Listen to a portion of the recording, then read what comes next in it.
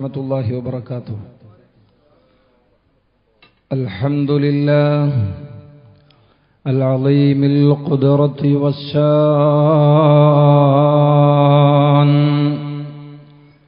شديد البطش والبرهان حافظ الدين والقرآن. بسم الله ما شاء الله كان. إن أريد إلا الإصلاح ما استطعت وما توفيقي إلا بالله. عليه توكلت وإليه أنيب. حسبنا الله ونعم الوكيل نعم المولى ونعم النصير. ولا حول ولا قوة إلا بالله العلي العظيم.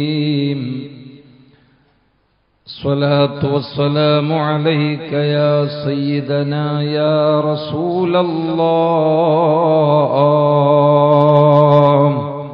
صلى الله عليه وسلم. خذ بأيدينا قلت حيلتنا.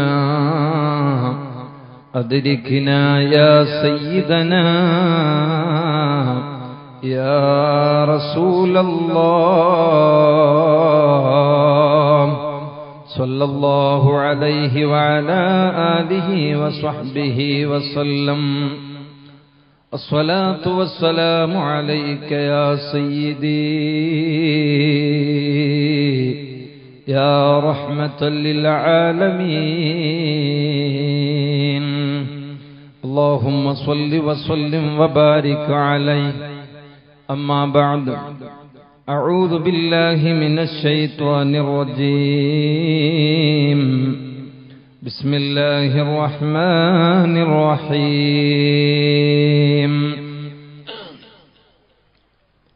واصبر نفسك مع الذين يدعون ربهم بالغداة والعشي. يريدون وجهه ولا تعد عيناك عنهم تريد زينة الحياة الدنيا.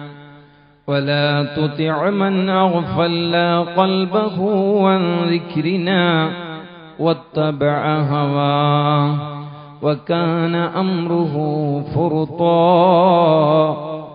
പരിശുദ്ധ ഖുർആനിൽ قال الله عز وجل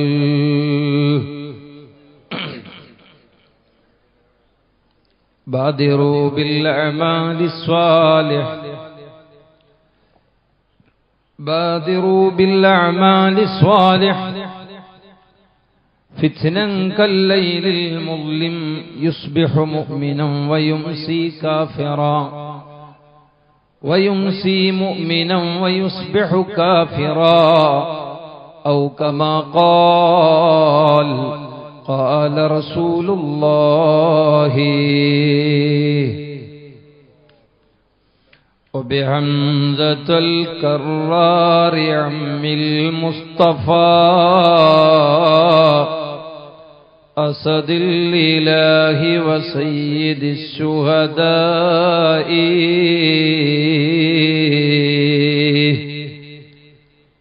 يا سيدي سندي غوثي ويا مددي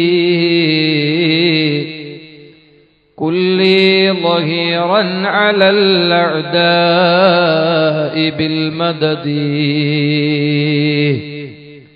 مجير عرضي وخذ بيدي مدى مددي. خليفة الله فينا محيي الدين. يا محيي الدين. يا محيي الدين عبد القادر الجيلاني. يا صاحب الإرواد كل ناصري. يا مطلب العاجات سلطان زاهدي. يا صاحب الأجمير كل ناصري. يا مطلب الحاجات خواجة زاهدي. يا صاحب الأرماد كل ناصري. يا مطلب الحاجات صوفي زاهدي. يا سيدي يا رسول الله خذ بيدي. ما لي سواك ولا قلبي على أحدي. مولاي.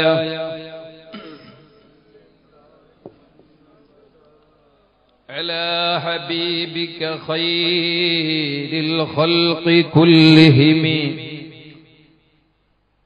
فمبلغ العلم فيه أنه بشر وأنه خير خلق الله كلهم.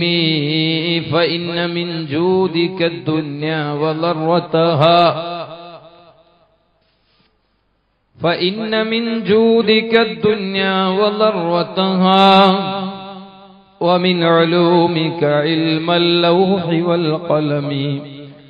مولاي صل وسلم دائما أبدا على حبيبك خير الخلق كلهم. واعمل لدار رضوان خازنها. والجار أحمد والرب عاليها. يا رب بالمصطفى. يا رب بالمصطفى بلغ مقاصدنا واغفر لنا ما مضى. يا واسع الكرم مولاي صل وسل من أبدا على حبيبك خير الخلق كلهم نهارك بطال وليلك نائم. وعيشك يا مسكين عيش البهائم.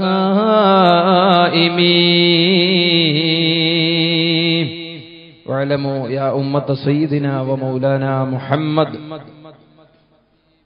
സർവാധരണരായ സാധാത്തുക്കളെ ആലിമീങ്ങളെ മുസ്ലിം ജമാഅത്തിന്റെയും എസ് വൈ എസിന്റെയും എസ് എസ് എഫിന്റെയും എസ് ബി എസിന്റെയും കർമ്മധീരരായ പ്രവർത്തകർ അഖിലുസുന്നത്തി വൽ ജമാഅത്തിന്റെ കർമ്മോത്സുകരായ കരളിന്റെ കഷ്ണങ്ങളായ സഹോദരന്മാർ പ്രവർത്തകർ സ്നേഹസമ്പന്നരായ സഹോദരിമാർ ഈ നാട്ടിന്റെ നല്ലവരായ മഹൽ ഭാരവാഹികൾ പ്രിയപ്പെട്ട ജ്യേഷ്ഠാനുജന്മാർ. അള്ളാഹു അവന്റെ അതിമഹത്തായ അനുഗ്രഹത്താൽ. അവൻ ഏറ്റവും ഇഷ്ടപ്പെടുന്ന ഇൽമിന്റെ മജലിസിൽ ഒരുമിച്ച് കൂടാൻ നമുക്ക് അവസരം തന്നിരിക്കുന്നു. അലഹമുല്ല അള്ളാഹു ദുആക്ക് ഇജാബത്തുള്ള മജലിസായി നമ്മിൽ നിന്നും കബൂൽ ചെയ്യുമാറാവട്ടെ. പ്രത്യേകിച്ച് ബഹുമാനപ്പെട്ട സയ്യിദുന സയ്യിദ് അബ്ദുറഹ്മാൻ ഇമ്പിച്ചിക്കോയ തങ്ങൾ അൽ ബുഹാരി ബായാർ തങ്ങൾ ഉപ്പാപ്പയുടെ നേതൃത്വത്തിലായി കൂട്ടപ്രാർത്ഥനയും സ്വലാത്ത് മജലിസും നടക്കാനുള്ള മഹത്തായ വേദിയാണ്. ഈ സ്റ്റേജിലേക്ക് നോക്കിയാൽ തന്നെ ഈ മഹത്തായ പരിപാടിയുടെ ബറക്കത്ത് നമുക്ക് ശരിക്ക് ബോധ്യപ്പെടാവുന്നതാണ്. അള്ളാഹുവിന്റെ പരിശുദ്ധമായ ദീനീ രംഗത്ത് വിശ്രമമില്ലാതെ പ്രവർത്തിച്ചുകൊണ്ടിരിക്കുന്ന സംഘടന നേതൃത്വത്തിൽ മുൻനിരയിലുള്ള യുവ പ്രഭാഷകർ ആലിമീങ്ങൾ ഉസ്താദുമാർ സ്റ്റേജിലും സദസ്സിലുമായി ഇരിക്കുന്ന നിഷ്കളങ്കരായ അഖിലുസുന്നത്തി വൽ ജമാഅത്തിന്റെ പ്രവർത്തനം മാത്രം അള്ളാഹുവിന്റെ പൊരുത്തം മാത്രം കാംക്ഷിച്ചുകൊണ്ട് പ്രവർത്തിക്കുന്ന നല്ലവരായ സംഘടനാ പ്രവർത്തകർ. ഇതൊക്കെയാണ് ഏതൊരു നാട്ടിന്റെയും ഒരു ആത്മീയമായ നിലനിൽപ്പിന് അനിവാര്യവും ആ നാടിന്റെ പറക്കത്തിന്റെ സ്രോതസ്സും ഇതാണ് എന്ന് നമുക്ക് വളരെ വ്യക്തമായി മനസ്സിലാകുന്ന കാര്യമാണ്. ഏതായാലും അലഹമില്ല ഈ ഒരു സന്തോഷം അള്ളാഹു ഈ നാട്ടിൽ ബറക്കത്തോടെ നിലനിർത്തി തരുമാറാവട്ടെ. നമുക്ക് ഇൽമിന്റെ മജ്ലിസ് ആത്മീയമായ മജ്ലിസ് അത് നമ്മുടെ നാടുകൾക്ക് എപ്പോഴും വലിയ കാവലും പൊരുത്തവും അതേപോലെ തന്നെ ബറക്കത്തിനുള്ള കാരണവും സമാധാനത്തിനുള്ള വഴിയുമാണ് എന്ന കാര്യത്തിൽ യാതൊരു സംശയവുമില്ല. അത് നാട്ടുകാരായ പ്രവർത്തകരായ നാം മനസ്സിലാക്കി അള്ളാഹുവിന്റെ പൊരുത്തത്തിലായി അത് നിർവഹിക്കാനുള്ള ഒരു ശ്രമമാണ് നമ്മുടെ ഭാഗത്തിൽ നിന്ന് ഉണ്ടാകേണ്ടത്. അതിനുവേണ്ടി ആവശ്യമായ നിർദ്ദേശങ്ങളും ആത്മീയമായ ഉപദേശങ്ങളുമൊക്കെയാണ് ഈ സാഹചര്യത്തിൽ നമ്മൾക്ക് പ്രതീക്ഷിക്കാവുന്നത്. അത് ഇൻഷാ അള്ളാഹ് അതിന് യോഗ്യരായ പണ്ഡിതന്മാർ ബഹുമാനപ്പെട്ട ബായാറിതങ്ങളെ പോലെയുള്ള വലിയ കറാമത്ത് പോലും ചെറിയ ജീവിതത്തിൽ പച്ചയായി ഒരുപാട് ഒരുപാട് ബോധ്യപ്പെട്ടുകൊണ്ടിരിക്കുന്ന ആഗോള പ്രശസ്തരായ സദാത്തുക്കൾ പണ്ഡിതന്മാർ ഇവരുടെയൊക്കെ നേതൃത്വത്തിലായി നമുക്ക് കഴിഞ്ഞുകൂടാനുള്ള അവസരം ഉണ്ടാകുക എന്ന് പറഞ്ഞാൽ അത് അള്ളാഹുവിനെ നാം വളരെയധികം സ്തുതിക്കേണ്ടുന്ന ഒരു ഘടകം തന്നെയാണ്. അള്ളാഹു അതിന്റെ ബർക്കത്ത് നമ്മുടെ ജീവിതത്തിൽ നിലനിർത്തി തരുമാറാവട്ടെ എന്ന് ദുആ ചെയ്തുകൊണ്ട് ബഹുമാനികളെ വളരെ പ്രതിസന്ധി ഘട്ടത്തിലൂടെയാണ് മുസ്ലിം ലോകം ഇന്ന് കടന്നുപോയിക്കൊണ്ടിരിക്കുന്നത്. ആസന്നമായ പരിശുദ്ധമായ ഹജ്ജ് ആ ഹജ്ജ് യാത്ര ലക്ഷ്യം വെച്ചുകൊണ്ട് ലോകത്തിന്റെ നാനാഭാഗങ്ങളിൽ നിന്ന് ലക്ഷോപലക്ഷം ആളുകൾ വിശുദ്ധമായ മണ്ണിലേക്ക് ഒഴുകിക്കൊണ്ടിരിക്കുന്ന ഒരു പ്രത്യേകമായ സമയം. അള്ളാഹുവിന്റെ വിശുദ്ധ ഖുർആൻ വളരെ ബഹുമാനം പറഞ്ഞിരിക്കുന്ന സമയങ്ങളും മാസങ്ങളും. ഈ ഒരു സാഹചര്യത്തിൽ ആഗോളതലത്തിൽ സത്യവിശ്വാസികൾ എല്ലാ ചിന്തകളും വെടിഞ്ഞുകൊണ്ട് അള്ളാഹുവിന്റെ അതിഥികളായി വിശുദ്ധമായ ഭൂമിയിലേക്ക് എത്തുന്ന ആളുകൾക്ക് അവരുടെ ഹിഫുദിനു വേണ്ടി അവരുടെ ഹെറുസിനു വേണ്ടി അവരുടെ സുരക്ഷിതത്വത്തിനു വേണ്ടി പ്രത്യേകമായി ദുആ ചെയ്യുകയും അവരോട് ദുആ കൊണ്ട് വസീയത്ത് ചെയ്യുകയും അവരെ യാത്രയാക്കുകയും അതിനുള്ള ഒരുക്കങ്ങളൊക്കെ നടത്തുകയും ചെയ്യുന്ന ഒരു സമയം. എത്ര അത്യന്താധുനിക സൗകര്യങ്ങൾ ഉണ്ടായിട്ടും എല്ലാ സൗകര്യങ്ങളെയും സുരക്ഷാ വേലിക്കെട്ടുകളെയും ഓവർടേക്ക് ചെയ്തുകൊണ്ട് അപകടങ്ങളും വലിയ വലിയ ദുരന്തങ്ങളും ഏത് സമയത്തും ലോകത്ത് എത്ര സേഫായ സ്ഥലത്തും കടന്നു വരാൻ പറ്റുന്ന ഒരു പ്രതികൂലമായൊരു സാഹചര്യമാണെന്ന് ലോകത്ത് ഉള്ളത്. പരിശുദ്ധമായ മക്കത്തുൽ മുക്കറമ വിശുദ്ധമായ മദീന മുനവറ അജ്ജുമായി ബന്ധപ്പെട്ട് കിടക്കുന്ന അറഫ മൈതാനി അടക്കമുള്ള മിന താഴ്വരയടക്കമുള്ള സകല മേഖലകളും വളരെ ഭീതിയോടെയാണ് ഇന്ന് നാം കണ്ടുകൊണ്ടിരിക്കുന്നത്. എന്താണ് ഏത് സമയത്ത് എന്ത് സംഭവിക്കുമെന്ന് പറയാൻ പറ്റാത്തൊരു സാഹചര്യം. ഇതിലൂടെ നാം മനസ്സിലാക്കേണ്ട ഒരു വിഷയം എന്താണ്? ഒറ്റ വാക്കിൽ പറഞ്ഞാൽ ലോകത്ത് എവിടെയും ഒരു സമാധാനം എന്ന് പറയുന്നത് ഇല്ല എന്നാണ്. അഷറഫുൽ ഖൽഖ് സല്ലല്ലാഹു അലൈഹി വസല്ലമ തങ്ങളുടെ ചാരത്ത് വിശുദ്ധമായ മദീന മുനവറയുടെ പരിസരത്ത് സമാധാനം നഷ്ടപ്പെട്ടു എന്ന് പറഞ്ഞാൽ പിന്നെ ലോകത്ത് എവിടെയും ഇനി സമാധാനമില്ല എന്നല്ലേ? ഈ അടുത്തായി മദീന മുനവറിയുടെ പരിസരത്ത് നടന്ന സംഭവങ്ങൾ അതുപോലെ തന്നെ ഇന്ന് മുസ്ലിം രാഷ്ട്രങ്ങളിലൊക്കെ നടന്നുകൊണ്ടിരിക്കുന്ന സംഭവങ്ങൾ അതേപോലെ തന്നെ മനുഷ്യർ പല പല രീതിയിൽ ചിന്തിച്ചുകൊണ്ട് മനുഷ്യത്വം മറന്നുകൊണ്ട് സ്വാർത്ഥതയുടെ പിന്നാലെ പോകുന്ന കാരണം കൊണ്ട് ആത്മീയമായ നേതൃത്വങ്ങളെ വലിച്ചെറിഞ്ഞുകൊണ്ട് സ്വന്തമായ ഒരു ജീവിതം കെട്ടിപ്പടുക്കുന്ന ഒരു ചുറ്റുപാടിലേക്ക് നീങ്ങുമ്പോ പരിസരം മറന്നുകൊണ്ട് സമാധാന അന്തരീക്ഷം നഷ്ടപ്പെടുത്തിക്കൊണ്ടിരിക്കുകയാണ് ഈ ഒരു സാഹചര്യത്തിൽ ലോകം ഉറ്റുനോക്കിക്കൊണ്ടിരിക്കുന്ന സമാധാനത്തിന്റെ സന്ദേശം ലോകത്ത് അചഞ്ചലമായി പ്രഖ്യാപിക്കുകയും അത് ലോകത്ത് എന്നേക്കും നിലനിർത്താൻ ഒരേ ഒരു വഴി മാത്രമേയുള്ളൂ. അത് പരിശുദ്ധ ദീനുൽ ഇസ്ലാമാണെന്ന് നാഴികക്ക് നാൽപ്പത് വട്ടം സമ്മതിക്കേണ്ടി വന്നിരിക്കുന്ന പരിശുദ്ധ ദീനുൽ ഇസ്ലാം എന്ന പരിശുദ്ധമായ മതം. ഈ മതമല്ലാതെ ലോകത്ത് സമാധാനം നൽകുന്നൊരു മതമില്ല.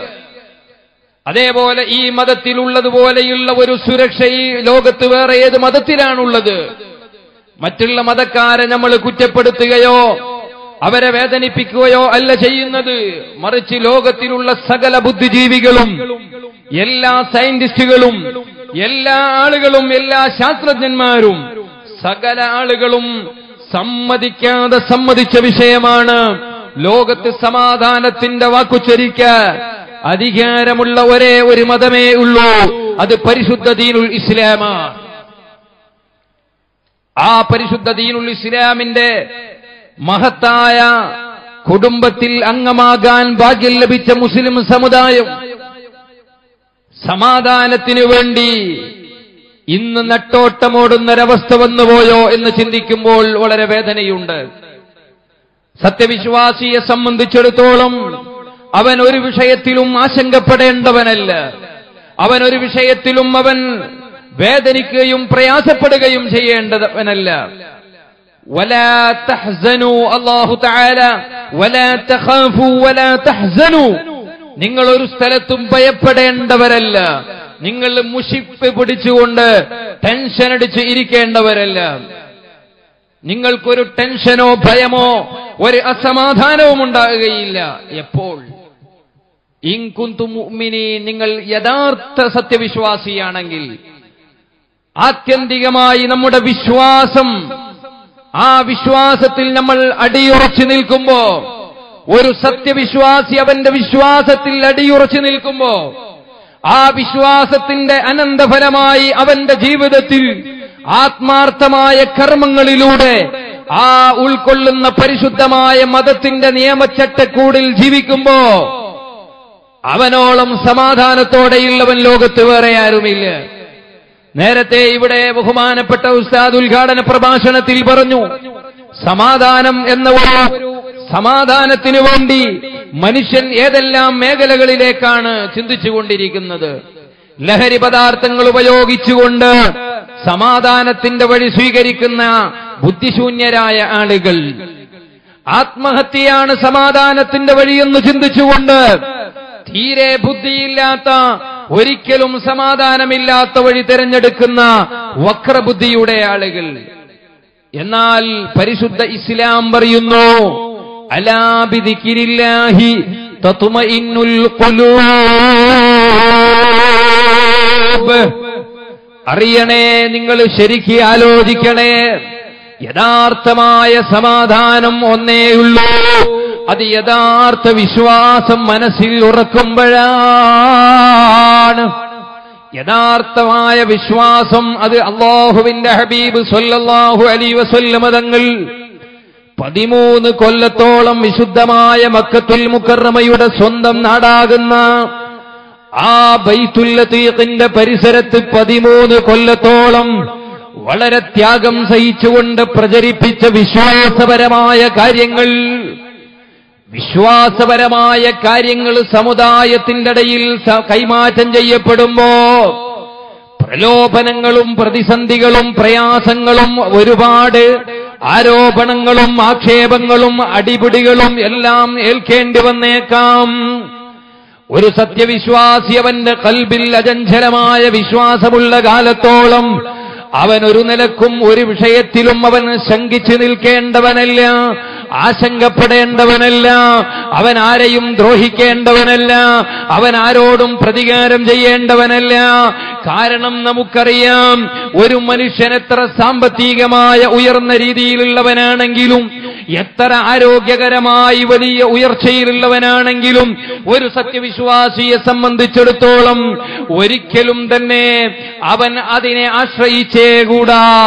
അതേ സമയത്ത് അവന്റെ ജീവിതത്തിന്റെ വഴികാട്ടിയായി അവന്റെ കൽബിൽ അടിയുറച്ചു നിൽക്കേണ്ടുന്ന വിശ്വാസപരമായ കാര്യങ്ങൾ ആ വിശ്വാസത്തിൽ അവൻ അടിയുറച്ചു നിൽക്കുമ്പോ അവന്റെ സാമ്പത്തികമായ ഉയർച്ചയോ അവന്റെ ആരോഗ്യകരമായ ഉയർച്ചയോ അവനെ ഒരു ആക്രമണത്തിലേക്ക് ഒരു ഭീകരതയിലേക്ക് ഒരു തീവ്രതയിലേക്ക് ഒരു ഒരു ഒരാളെ ശല്യം ചെയ്യുന്നതിലേക്ക് അവന്റെ മനസ്സ് തിരിയാൻ പാടില്ല തിരിയില്ല അവന്റെ പ്രവർത്തനങ്ങളും തിരിയില്ല.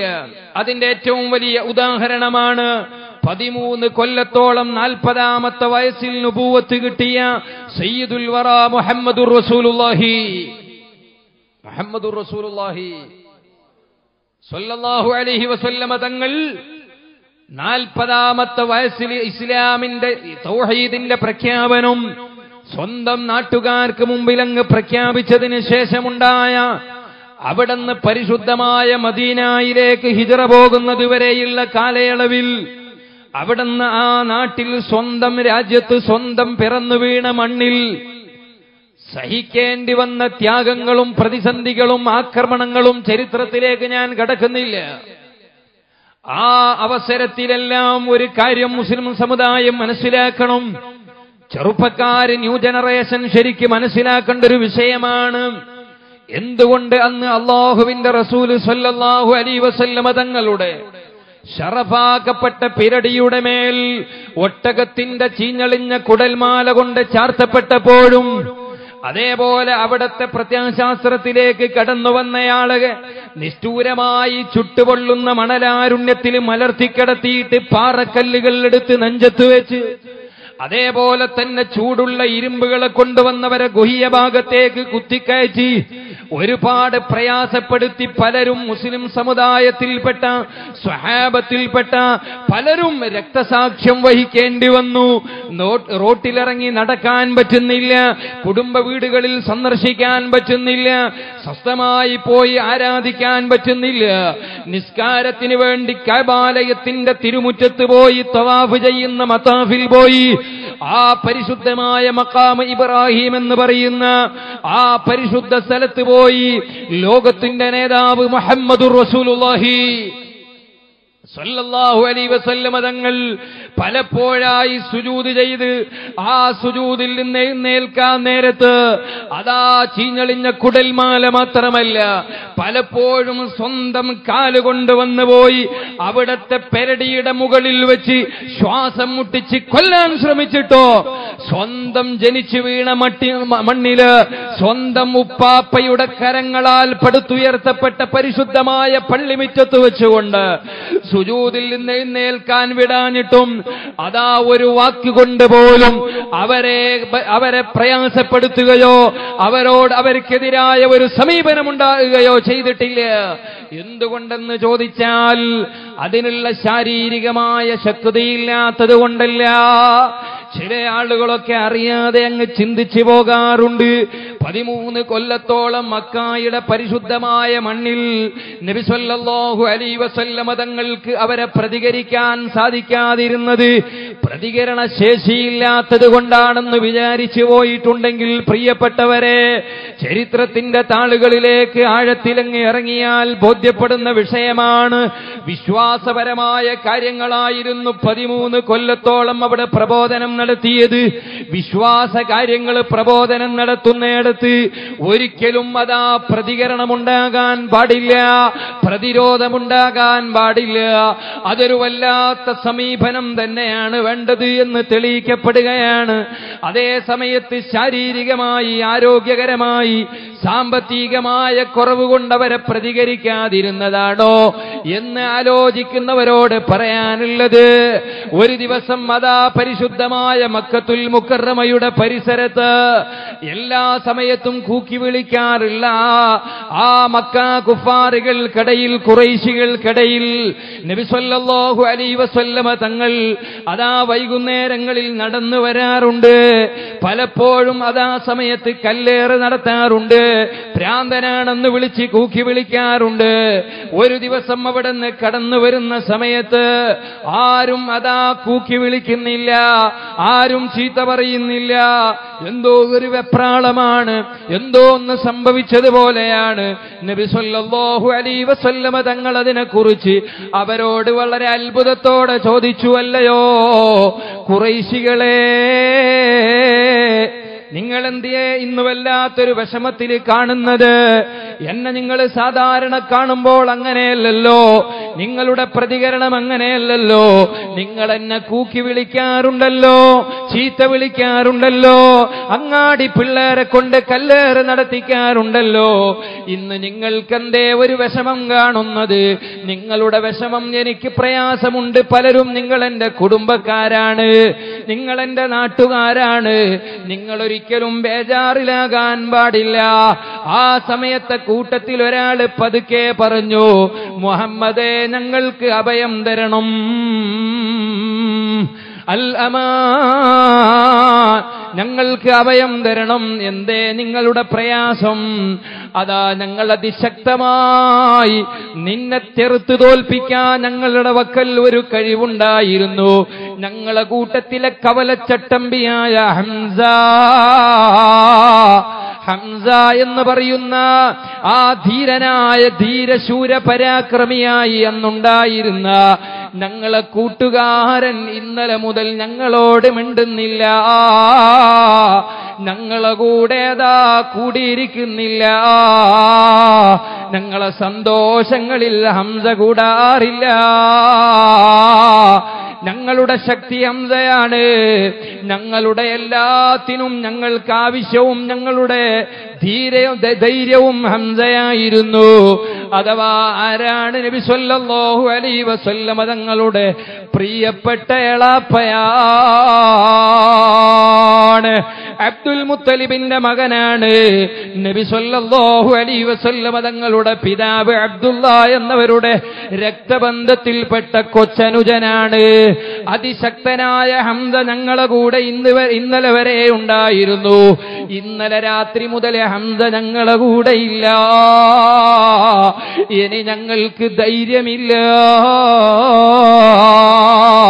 ഞങ്ങൾ അന്വേഷിച്ച് നോക്കുമ്പോ ഹംസത്ത് അബ്ദുൽ മുത്തലിബ് ഇന്നലെ രാത്രി മുഹമ്മദിന്റെ പാളയത്തിൽ വന്നിട്ട് ഷഹാദത്തിന്റെ പ്രഖ്യാപനം നടത്തിപ്പോയി. ഞങ്ങളുടെ ശക്തി മുഴുവനും തളർന്നു പോയി. അതേ അബൂജഹലിന്റെ അനക്കമില്ല. ഉത്സുബത്തിന്റെ അനക്കമില്ല. ശൈബത്തിന് മിണ്ടാട്ടമില്ല. ഉമയ്യത്ത് ശ്വാസം വിടുന്നില്ല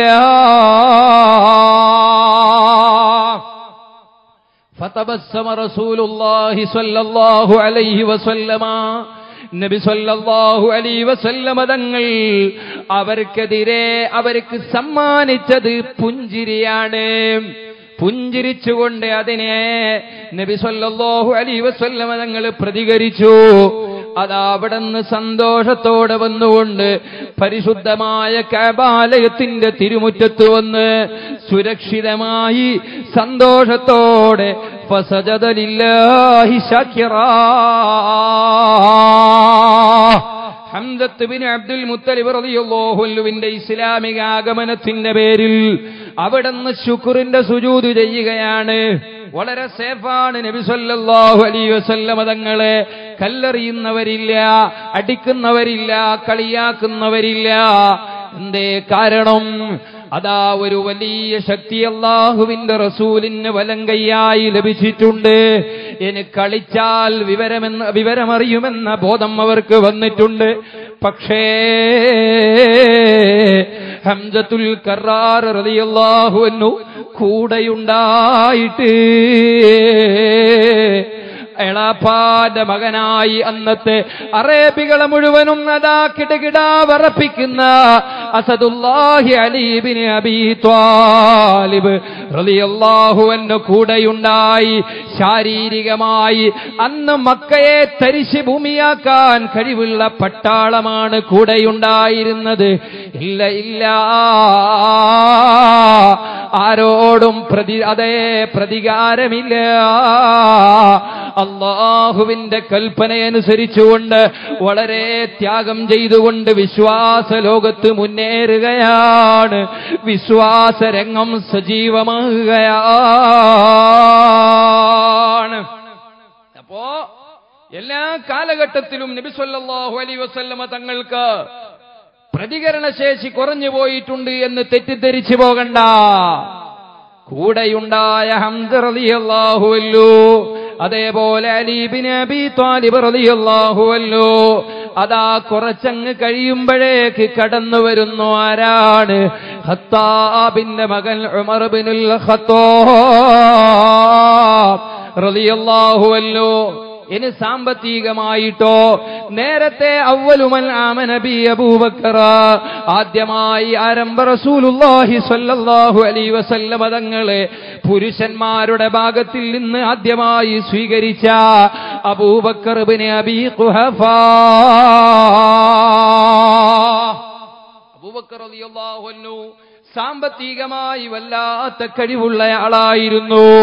മക്കായുടെ ഭ്രാന്ത പ്രദേശത്ത് ഹെക്ടർ കണക്കിന് അതാ ആസ്തിയുള്ള കുടുംബക്കാരനായിരുന്നു. വലിയ ബിസിനസ്സുകാരനായിരുന്നു. വലിയ വ്യവസായിയായിരുന്നു.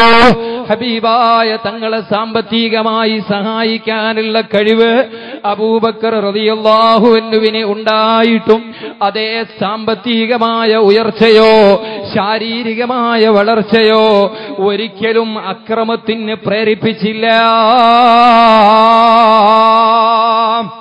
എല്ലാ കാലവും അടിസ്ഥാനപരമായി ഇസ്ലാമിന്റെ മെസ്സേജ് എന്താണ്? സമാധാനമാണ്. എല്ലാവർക്കും സമാധാനത്തിന്റെ സന്ദേശമാണ്. ഇസ്ലാമിന്റെ ആവിർഭാവ ചരിത്രം മുതൽ ഇനി ലോകത്ത് ഖിയാമത്ത് നാൾ വരെ സമാധാനത്തിന്റെ ഒരേ ഒരു വഴി അൽ ഇസ്ലാം. പരിശുദ്ധ ദീനുൽ ഇസ്ലാമാണ്. ആ പരിശുദ്ധമായ മതത്തിന്റെ അനുയായികളായ നമ്മൾ നമ്മൾ അള്ളാഹുവിനെ കുറിച്ച് അറിയേണ്ടതുപോലെ അറിയുന്നില്ല. അള്ളാഹു തന്നെ പറയുകയാണ് അള്ളാഹുവിനെ കുറിച്ച് അറിയേണ്ടതുപോലെ അവർ അറിയുന്നില്ല. അള്ളാഹുവിന്റെ വിശുദ്ധമായ ഖുർആൻ നമ്മളോട് ഓർമ്മപ്പെടുത്തുകയാണ് ലഖദ് കാന ലക്കും ഫീ റസൂലില്ലാഹി ഉസ്വത്തുൻ ഹസന. അള്ളാഹുവിന്റെ ഹബീബ് സല്ലല്ലാഹു അലൈഹി വസല്ലമ തങ്ങളിൽ അള്ളാഹു പറയുകയാണ് നിങ്ങൾക്ക് നല്ല മാതൃകയാണ് നബി സല്ലല്ലാഹു അലൈഹി വസല്ലമ തങ്ങളുടെ ജീവിതത്തിലുള്ളത്.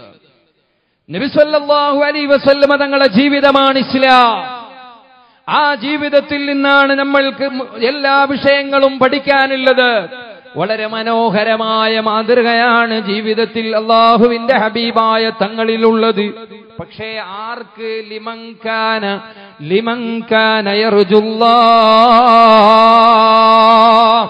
നബി സല്ലല്ലാഹു അലൈഹി വസല്ലമ തങ്ങൾ ആർക്കാണ്? നിബിതങ്ങളിലൂടെ മാതൃക. ആർക്കാണ് ഇവിടെ സമാധാനം ലഭിക്കുക? ആർക്കാണ് ഇവിടെ നല്ല പ്രവർത്തനങ്ങൾ കാഴ്ചവെക്കാൻ പറ്റുക? ഹബീബായ നബി സല്ലല്ലാഹു അലൈഹി വസല്ലമ തങ്ങളെ ജീവിതം പഠിച്ച് ആ ജീവിതത്തിൽ നിന്ന് കാര്യങ്ങൾ മനസ്സിലാക്കാൻ പറ്റുന്നത് ലിമങ്കാന അള്ളാഹുവിനെ ആഗ്രഹിക്കുന്നവർ നാളെ എനിക്കും മരണശേഷം ഒരു ലോകമുണ്ട്. ശേഷമല്ല പറയുന്നു വല്ലോമല്ലാഹർ നാളെ പാരത്രീക ലോകമെന്നൊരു നശിക്കാത്ത ഒരു ലോകമുണ്ട്. അവിടെയാണ് എനിക്ക് വിജയം വേണ്ടത്. അവിടെയാണ് ഞാൻ ജയിക്കേണ്ടത്. അവിടെ ജഗനിയന്താവായ പടച്ചറബിന്റെ മുമ്പിൽ എനിക്ക് വിജയിക്കാൻ പറ്റണം എന്ന ബോധം ആർക്കാണുള്ളത്? ആ ഒരു ബോധമുണ്ടോ? അലൈഹി വസല്ലമ തങ്ങളിൽ നമ്മൾക്ക് മാതൃകയുണ്ട്. നബിസ്വല്ലാഹു അലി വസ്വല്ലമ തങ്ങളുടെ ജീവിതത്തിന്റെ ത്യാഗങ്ങളിൽ നിന്ന് അവിടത്തെ മാതൃകാപരമായ ജീവിതത്തിൽ നിന്ന് നമ്മൾക്ക് പാഠമുണ്ട്. പക്ഷേ ആർക്കാണ് അള്ളഹാനെ അറിയേണ്ടതുപോലെ അറിയുന്നവർക്കാണ്? അള്ളാഹുവിനെ കൊതിക്കുന്നവർക്കാണ്. ഇവിടെയാണ് ഒരു നാട്ടിൽ നല്ല പ്രവർത്തനങ്ങൾ നടത്തുന്ന സംഘടനാ പ്രവർത്തകർ. പ്രിയപ്പെട്ട സഹോദരങ്ങളെ ആത്യന്തികമായി സംഘടനാ സംവിധാനം ഈ കേരളത്തിലെന്നല്ല കർണാടക സ്റ്റേറ്റിൽ എന്റെ സ്റ്റേറ്റ് ആകുന്ന കർണാടകയിൽ മാത്രമല്ല ആഗോള തലത്തിൽ നിന്ന് ഈ സംഘടനാ സംവിധാനത്തിന്റെ പ്രവർത്തനങ്ങൾ വാഴ്ത്തപ്പെടുകയാണ്. കാരണമെന്തേ? ഇതിന്റെ അടിസ്ഥാനപരമായ വിശ്വാസം അല്ലോ പടച്ചറബിന്റെ പൊരുത്തം കാംക്ഷിച്ചുകൊണ്ടുള്ള പ്രവർത്തനമാണ്. റബ്ബിനെ കുറിച്ചുള്ള ചിന്തയാണ്. ദുനിയാവിലൊരു പഞ്ചായത്തിന്റെ മെമ്പറാകാൻ വേണ്ടി ഇന്നുവരെ ഈ സംഘടനാ സംവിധാനം ഉപയോഗപ്പെടുത്തിയിട്ടില്ല. അതുകൊണ്ട് അള്ളാഹുവിനെ അറിയാൻ വേണ്ടി പടച്ച റബ്ബിനെ ആഗ്രഹിക്കുന്ന നാളെ പാരത്രീക ലോകത്ത് വിജയിക്കണമെന്ന് കൊതിക്കുന്ന ആളുകളുണ്ടല്ലോ. അവർക്ക് റസൂലുള്ളാന്റെ ജീവിതത്തിൽ നിന്ന് മാതൃകയുണ്ടേ. അവസാനം സൂറത്തുൽ അഹ്സാബിന്റെ ആയത്താണ് അള്ളാഹു തന്നെ പറയുകയാണ് വദക്കറല്ലാഹ കസീറാ لقد كان لكم في رسول الله عصوة حسنة لمن كان يرجو الله آخر وذكر الله كثيرا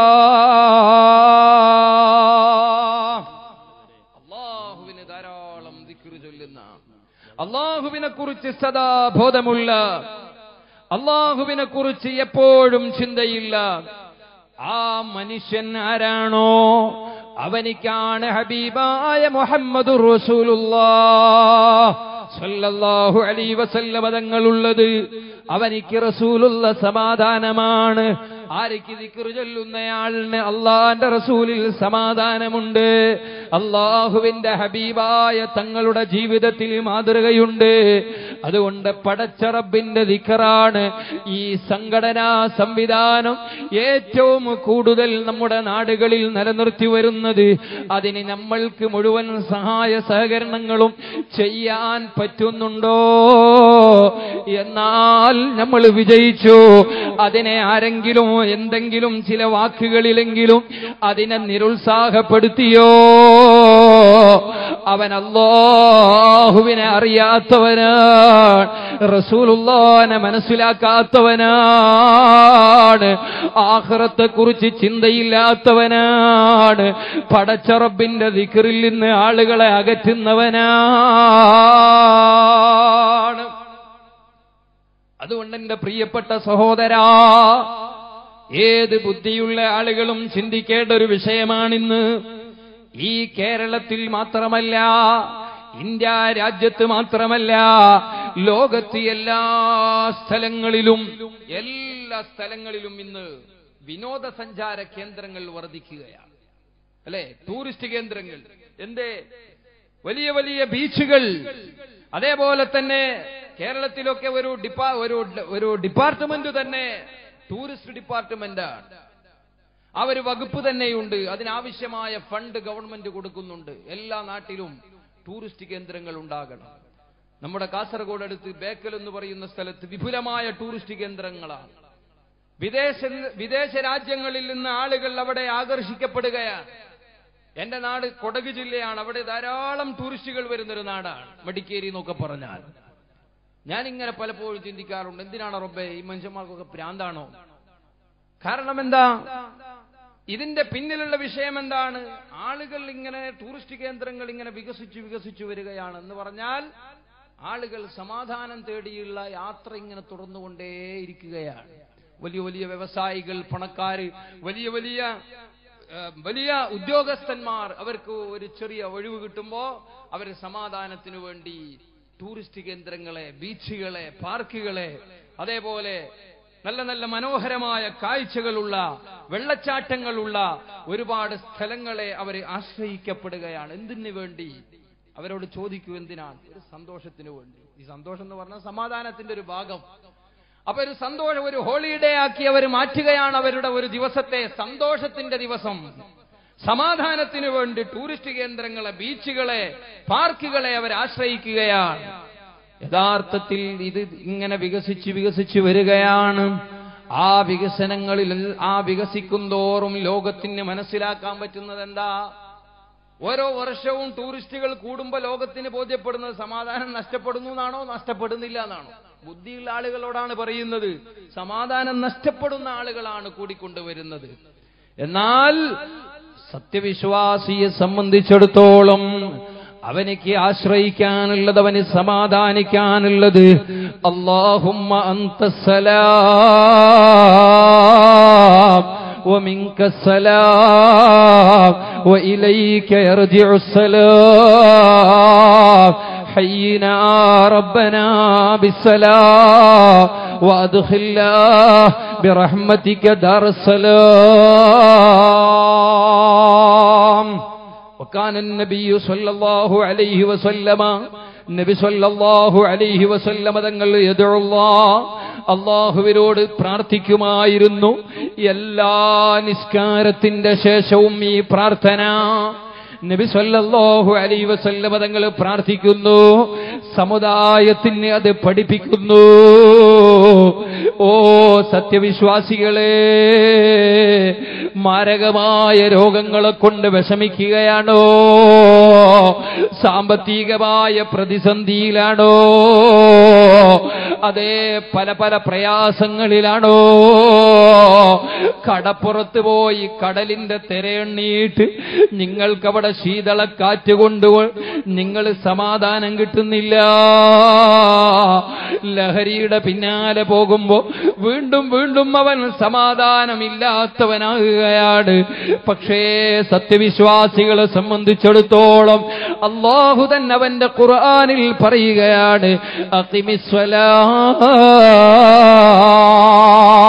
അഞ്ചു നേരത്തെ നിസ്കാരം അത് നിലനിർത്തൂ മോനെ. ആ നിസ്കാരം അസിമിസ്വല നിസ്കാരം നിലനിർത്തൂ. എന്തിനാണ്? ലിതിക്കിരി പറയുകയാണ് ആ നിസ്കാരത്തിലുള്ളത് എന്താണ് അള്ളാഹുവിനെ കുറിച്ചുള്ള ചിന്തയാണ്.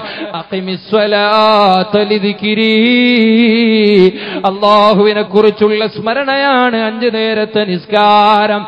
ആ നിസ്കാരം നിലനിർത്തൂ മോനെ. ആ നിസ്കാര ശേഷമുള്ള ദുആ റസൂലുള്ള പഠിപ്പിക്കുകയാണ്. അള്ളാഹുമ്മ അന്തസ്സലാ അല്ലാ നീയാണ് രക്ഷ. നീയാണ് സമാധാനം. സലാം. നീയാണ് സമാധാനം. ഒരു സത്യവിശ്വാസി കണ്ടുമുട്ടുമ്പോ പറയട്ടെ. അസ്സലാമു അലൈക്കും വറഹ്മത്തുള്ളാ. അള്ളാഹുവിന്റെ രക്ഷ നിന്നിലുണ്ടാവട്ടെ. എന്തൊരു സമാധാനത്തിന്റെ വാക്കാണ്. ഇതല്ലാഹുവിന്റെ ദീനിന്റെ പരിശുദ്ധമായ ഇസ്ലാമിൽ മാത്രം ലഭിക്കുന്ന സന്തോഷമാണ്. അതുകൊണ്ട് ധാരാളം അള്ളാഹുവിന് ദിക്റ് ചൊല്ലുന്ന ആളുകൾക്ക് സമാധാനമാണ്. അള്ളാഹുവിന്റെ ഹബീബ് മദീനയിലേക്ക് ഹിജറ പോകുന്നു. ഹിജറ പോയതിന് ശേഷം മദീന ഒരു സ്വന്തം രാജ്യമായി കെട്ടിപ്പടുക്കുകയാണ്. ഒരു ഇസ്ലാമിക് റിപ്പബ്ലിക്കായി മദീന മാറുകയാണ്. ആ സമയത്താണ് രാജ്യത്തിന്റെ സേഫ്റ്റിക്ക് വേണ്ടി രാജ്യത്തിന്റെ സുരക്ഷയ്ക്ക് വേണ്ടി ഒരു ഇസ്ലാമിക രാജ്യമാകുമ്പോ ആ രാജ്യത്തിനുണ്ടാകേണ്ട സുരക്ഷയ്ക്ക് വേണ്ടി അനിവാര്യമായ ചില ഏറ്റുമുട്ടലുകളൊക്കെ നടത്തേണ്ടി വന്നിട്ടുണ്ട്. അതൊന്നും മതത്തിന്റെ പ്രചാരണത്തിനു വേണ്ടിയല്ല. അത് പ്രത്യേകം നമ്മൾ മനസ്സിലാക്കേണ്ട ഒരു വിഷയമാണ്. എന്റെ വിഷയം അതല്ല. എന്നാലും ഞാൻ ഓർമ്മപ്പെടുത്തുകയാണ്. പ്രിയപ്പെട്ട സഹോദരങ്ങളെ അള്ളാഹുവിന്റെ ഹബീബായ സല്ലല്ലാഹു അലൈഹി വസല്ലമ തങ്ങൾ മദീന എന്ന പരിശുദ്ധമായ നാട്ടിലെത്തിയിട്ട് ആ രാജ്യത്തിന്റെ ഭരണാധികാരിയായതിനു ശേഷം ആ രാജ്യത്തിലേക്ക് കടന്നു വന്ന് ആക്രമിക്കാൻ ശ്രമിച്ച ആ രാജ്യത്തിലേക്ക് നുഴഞ്ഞു കയറാൻ ശ്രമിച്ച ഇതര രാജ്യക്കാരെ രാജ്യത്തിന്റെ അതിർത്തിയിൽ പോയി പ്രതിരോധിച്ചിട്ടുണ്ട്. അതാണ് ഇസ്ലാമിക ചരിത്രത്തിലെ ആദ്യമായ ഒരു യുദ്ധം നടന്നത് ബദർ. പരിശുദ്ധമായ മദീന ഇസ്ലാമിന്റെ ഇസ്ലാമിന്റെ ഭരണകേന്ദ്രമാകുന്ന മസ്ജിദുൻ നബവിയിൽ നിന്ന് നൂറ്റി അൻപത്തിരണ്ട് കിലോമീറ്റർ അപ്പുറത്താണ് ആ രാജ്യത്തിന്റെ അതിർത്തിയാണ് ആ ബദറിൽ വെച്ചുകൊണ്ട് ആ രാജ്യത്തിലേക്ക് കടന്നു വരാൻ ശ്രമിച്ചവരെ തടുത്ത് നിർത്തിയിട്ടുണ്ട്. അതൊരു ഏറ്റുമുട്ടലായി കലാശിച്ചിട്ടുണ്ട് അത് ഇസ്ലാമിക ചരിത്രത്തിലെ ആദ്യത്തെ യുദ്ധമാണ്. അതൊരിക്കലും സമാധാനം നഷ്ടപ്പെടുത്തിയ ആക്രമണങ്ങളല്ല. അതേ സമയത്ത് സമാധാനം നിലനിർത്താൻ വേണ്ടിയുള്ള ഒരു ചെറുത്തുനിൽപ്പ് മാത്രമായിരുന്നു. ഇത് പ്രത്യേകം എന്റെ ചെറുപ്പക്കാര് മനസ്സിലാക്കണമെന്ന് ഓർമ്മപ്പെടുത്തി. ഹബീബായ സല്ലല്ലാഹു അലൈഹി വസല്ലമ തങ്ങൾ തന്റെ വിശ്വാസപരമായ കാര്യങ്ങളുടെ പ്രചാരണത്തിന്റെ ശേഷം വിശ്വാസ മേഖലയിൽ ഊന്നി നിന്നുകൊണ്ട് പ്രവർത്തന മണ്ഡലങ്ങൾ സജീവമാക്കുകയായിരുന്നു മദീന. സ്വന്തമായി സ്ഥാപനങ്ങൾ ഉണ്ടാക്കുന്നു പള്ളികൾ നിർമ്മിക്കുന്നു മദ്രസ സമ്പ്രദായങ്ങൾക്ക് തുടക്കം കുറിക്കുന്നു. ആ സമയത്ത് പല വിഷയങ്ങളും അവിടുന്ന് നേരത്തെ ഇവിടെ ഉസ്താദ് സൂചിപ്പിച്ചതുപോലെ എത്രയോ നല്ല നല്ല പദ്ധതികൾ നടപ്പിലാക്കിയിട്ടുണ്ട്. ആ കൂട്ടത്തിൽ അതാ അവിടുന്ന് മദീനയിൽ വെച്ചുകൊണ്ട് എല്ലാ ദിവസവും നിസ്കാര ശേഷം ആളുകൾക്ക് കാര്യങ്ങൾ പറഞ്ഞു കൊടുക്കുന്ന ക്ലാസ് ഉണ്ടായിരുന്നു. അങ്ങനെ പല ചർച്ചകളും മദീനയുടെ ഭരണസിരാ കേന്ദ്രത്തിൽ വെച്ച് നടക്കാറുണ്ടായിരുന്നു. സ്നേഹത്തിന്റെ താലോലിപ്പിന്റെ വാത്സല്യത്തിന്റെ കരുണയുടെ സമാധാനത്തിന്റെ അങ്ങേ അറ്റമായി മദീന ലോകത്ത് മുഴുവനും വാഴ്ത്തപ്പെടുകയാണ്. ആ പരിശുദ്ധമായ നാട് പറയുമ്പോൾ തന്നെ എന്തൊരു സമാധാനമാണ്. ആ മദീന എന്ന് പറയുമ്പോൾ തന്നെ അതൊരു വിശ്വാസി ഹൃദയങ്ങളുടെ അഭയ കേന്ദ്രമാണല്ലോ അതൊരു സമാധാനത്തിന്റെ മൽജാണല്ലോ. ആ മദീനായുടെ ഓരോ മണ്ണും ലോകത്തിന് പറഞ്ഞു തരുന്നത് ശാന്തിയുടെ സമാധാനത്തിന്റെ മന്ത്രങ്ങളാണല്ലോ. അങ്ങനെ ഇരിക്കുന്ന കൂട്ടത്തിലാണ്. അതാ ഒരു വിഭാഗം ആളുകൾ ദിക്റിലായിട്ട് ഇങ്ങനെ കഴിഞ്ഞുകൂടുന്നു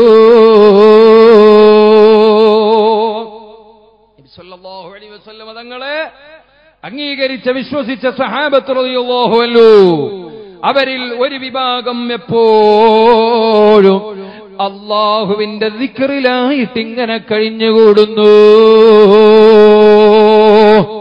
ദാക്കിരീങ്ങളായ ആളുകൾ അവർക്ക് നേതൃത്വം നൽകുന്നു മുഹമ്മദ് അലൈഹി വസല്ലമ. ആ റസൂലുള്ളാഹി സല്ലല്ലാഹു അലൈഹി വസല്ലമ തങ്ങളെ സ്വഹാബത്തിന്റെ കൂട്ടത്തിൽ ചൊല്ലി മാത്രം അതാ പള്ളികളിൽ രാവിലെയും വൈകുന്നേരവും ഇങ്ങനെ ദിക്ർ ചൊല്ലി ദ്വാവും ദിക്റുമായി കഴിഞ്ഞുകൂടുന്നയാൾ.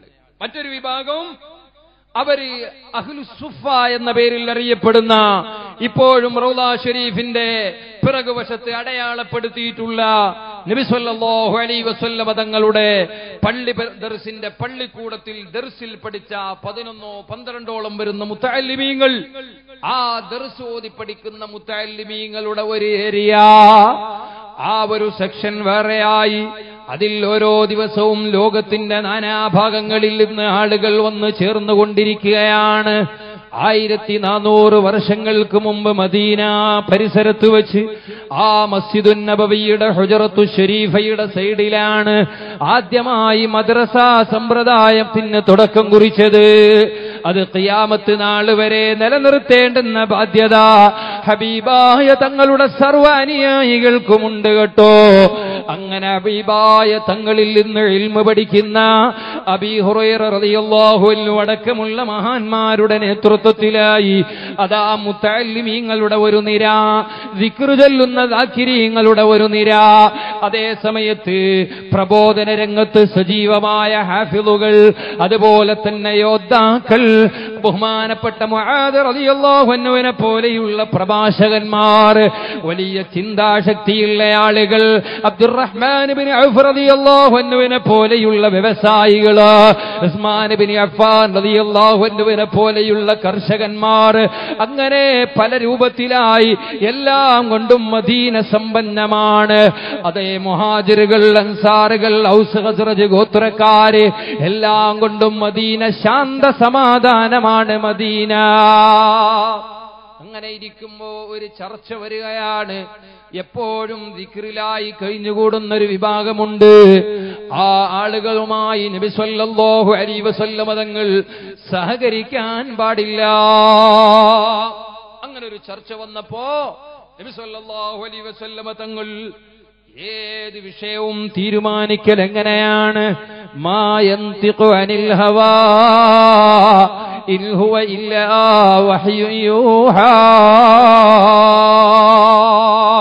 സ്വന്തമായി അഭിപ്രായമില്ല. അതേ സമയത്ത് അള്ളാഹുവിന്റെ വക്കൽ നിന്നുള്ള സന്ദേശമാണ്. വിക്രു ചൊല്ലുന്ന സ്വലാത്തു ചൊല്ലുന്ന ആളുകൾക്കെതിരായി ഒരു ആരോപണം വരികയാണ്. തങ്ങൾ അതിൽ പങ്കെടുക്കാൻ പാടില്ല. അവരിങ്ങനെ ദിക്കുറും ചൊല്ലിയിട്ട് ഇങ്ങനെ ശല്യം ചെയ്യുന്ന ആളുകളാണ്. എന്ന് പറഞ്ഞ് ഹബീബായ സല്ലല്ലാഹു അലൈഹി വസല്ലമ തങ്ങളെ ദിക്റ് ചൊല്ലുന്നതിൽ നിന്ന് സ്വലാത്തിന്റെ ആളുകൾ ദിക്റിന്റെ ആളുകളിൽ നിന്ന് തടയാൻ വേണ്ടിയുള്ള തീരുമാനം വന്നപ്പോ നബി സല്ലല്ലാഹു അലൈഹി വസല്ലമ തങ്ങൾ വളരെ വിഷമത്തോടെ ഇരിക്കും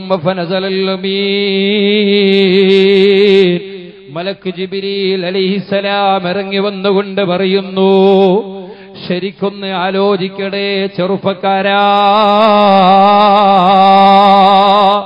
ബഹുമാനപ്പെട്ട സുൽത്താനുലമ കാന്തവരം ഉസ്താദിന്റെയും റഈസുൽ ഉലമ സുലൈമാൻ ഉസ്താദിന്റെയും നേതൃത്വത്തിലായിട്ടുള്ള ഈ തീർത്ഥവാഹക സംഘം അതാത് മുക്കിലുകൾ മൂലകളിൽ സാധാത്തുക്കൾ ഉലമാക്കളെ നേതൃത്വത്തിലായി വിക്കുറും സ്വലാത്തും ഇങ്ങനെ നടത്തുമ്പോ അതൊക്കെ പണം ഉണ്ടാക്കേണ്ട പരിപാടിയാണെന്നും പറഞ്ഞ ആളുകൾ അതാ അതിനെ തെറ്റിദ്ധരിച്ചു പോകണ്ട. ഹബീബായ നബി സല്ലല്ലാഹു അലൈഹി വസല്ലമ തങ്ങൾ സുബ്ഹാന ജല്ല ജലാലു ജിബ്രീൽ അലൈഹിസ്സലാം ഇറങ്ങി വന്നുകൊണ്ട് പറയുന്നു നബിയേ അള്ളാഹുവിന്റെ ഖുർആൻ സൂറത്തുൽ കഹ്ഫ് അവതരിപ്പിക്കപ്പെടുന്നു വസ്ബിർ നഫ്സക മഅല്ലദീന യദഊന റബ്ബഹും ബിൽ അദാതി വൽ അശി യുരീദൂന വജ്ഹാ വലാ തഅദു عيناك عنهم تريد زينة الحياة الدنيا ولا تطع من أغفلنا قلبه عن ذكرنا واتبع هواه وكان أمره فرطا അള്ളാഹു തന്നെ നേരിട്ട് പറയുന്നു നബിയേ അവിടത്തെ ശരീരത്തെ അവിടത്തെ ശരീരത്തെ ക്ഷമിപ്പിച്ചിരുത്തണം തങ്ങളെ. അവിടുന്ന് ആരുടെ കൂടെ നിൽക്കണം എന്ന തീരുമാനമാണ് പറയുന്നത്. എന്റെ ശബ്ദം കേൾക്കുന്ന ഉമ്മമാരെ ചെറുപ്പക്കാരെ രക്ഷിതാക്കളെ നമ്മളെ വിശ്വാസ കാര്യങ്ങളിൽ നിന്ന് അഹ്ലു സുന്നയിൽ നിന്ന് ഈ പരിശുദ്ധമായ പാതയിൽ നിന്ന് അകറ്റിക്കളയാൻ വേണ്ടി അതാ ഏതെങ്കിലും പുത്തനാശയക്കാര് അതാ വന്നുകൊണ്ട് തങ്ങന്മാരെ ഇടിച്ചിതാറ്റി സംസാരിക്കുമ്പോ മഹാന്മാരെ കളിയാക്കി അതൊക്കെ പണം ഉണ്ടാക്കാനുള്ള പരിപാടിയാണെന്ന് പറയുമ്പോ ഓർക്കണേ എല്ലാ വെള്ളിയാഴ്ചയും പള്ളികളിൽ വെച്ചുകൊണ്ട് പാരായണം ചെയ്യപ്പെടുന്ന സൂറത്തുൽ കഫിലെ ആയത്താണ് പൊന്നു പെങ്ങളെ ഹബീബായ തങ്ങളോട് അള്ളാഹു പറയുന്നു നബിയേ രാവിലെയും വൈകുന്നേരവും വസ്ബിർ വൽ രാവിലെയും വൈകുന്നേരവും എന്ന വ്യത്യാസമില്ലാതെ ആരൊക്കെ അള്ളാഹുവിന്റെ റസൂൽ അള്ളാഹുവിന്റെ ദിക്കുറു ചൊല്ലുന്നുണ്ടോ?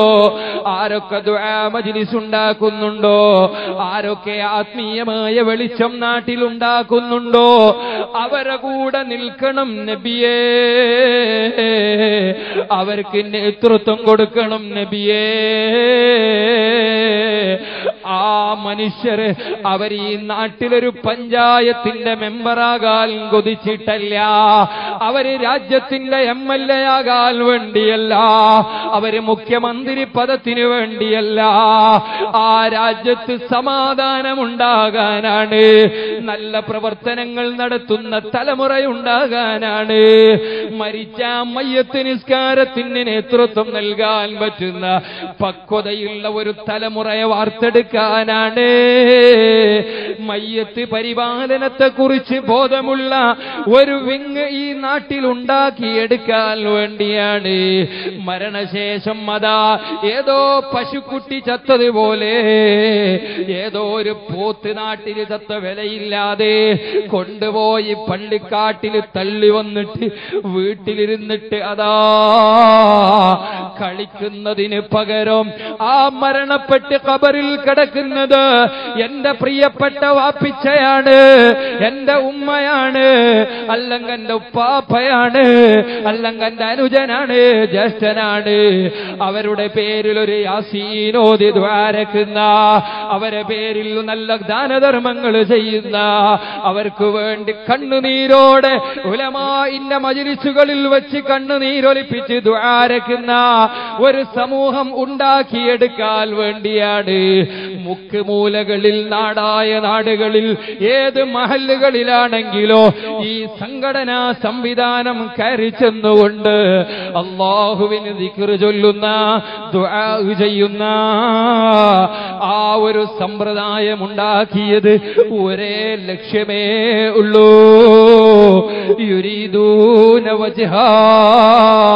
അള്ളാഹുവിന്റെ റസൂലിനോട് അള്ള പറയുന്നു അവർക്ക് ദുനിയാവ് ലക്ഷ്യമല്ല നബിയേ.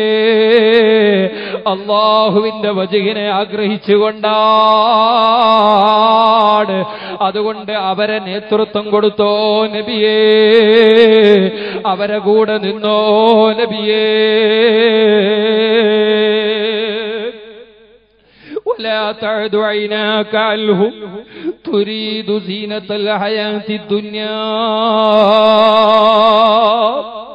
ولا تطع من أغفلنا قلبه عن ذكرنا നാട്ടിൽ കുഴപ്പങ്ങൾ ഉണ്ടാക്കുന്ന ക്ലബുകളിൽ ഇരുന്ന് കാരംസ് കളിച്ച് ഉറക്കം ഒഴിഞ്ഞ് സുബഹികളാക്കുന്ന ആലിബികളെയും സയ്യിദന്മാരെയും ചീത്ത പറയുന്ന പാൻപരാക്കിന്റെയും ലഹരിയുടെയും കഞ്ചാവിന്റെയും കള്ളിന്റെയും അടിമയാകുന്ന അതേ ലോകത്ത് എവിടെയോ നടക്കുന്ന ഫുട്ബോൾ കണ്ട് രാത്രി സമയങ്ങളിൽ മദ്യപാർട്ടി ഉണ്ടാക്കിയതാ.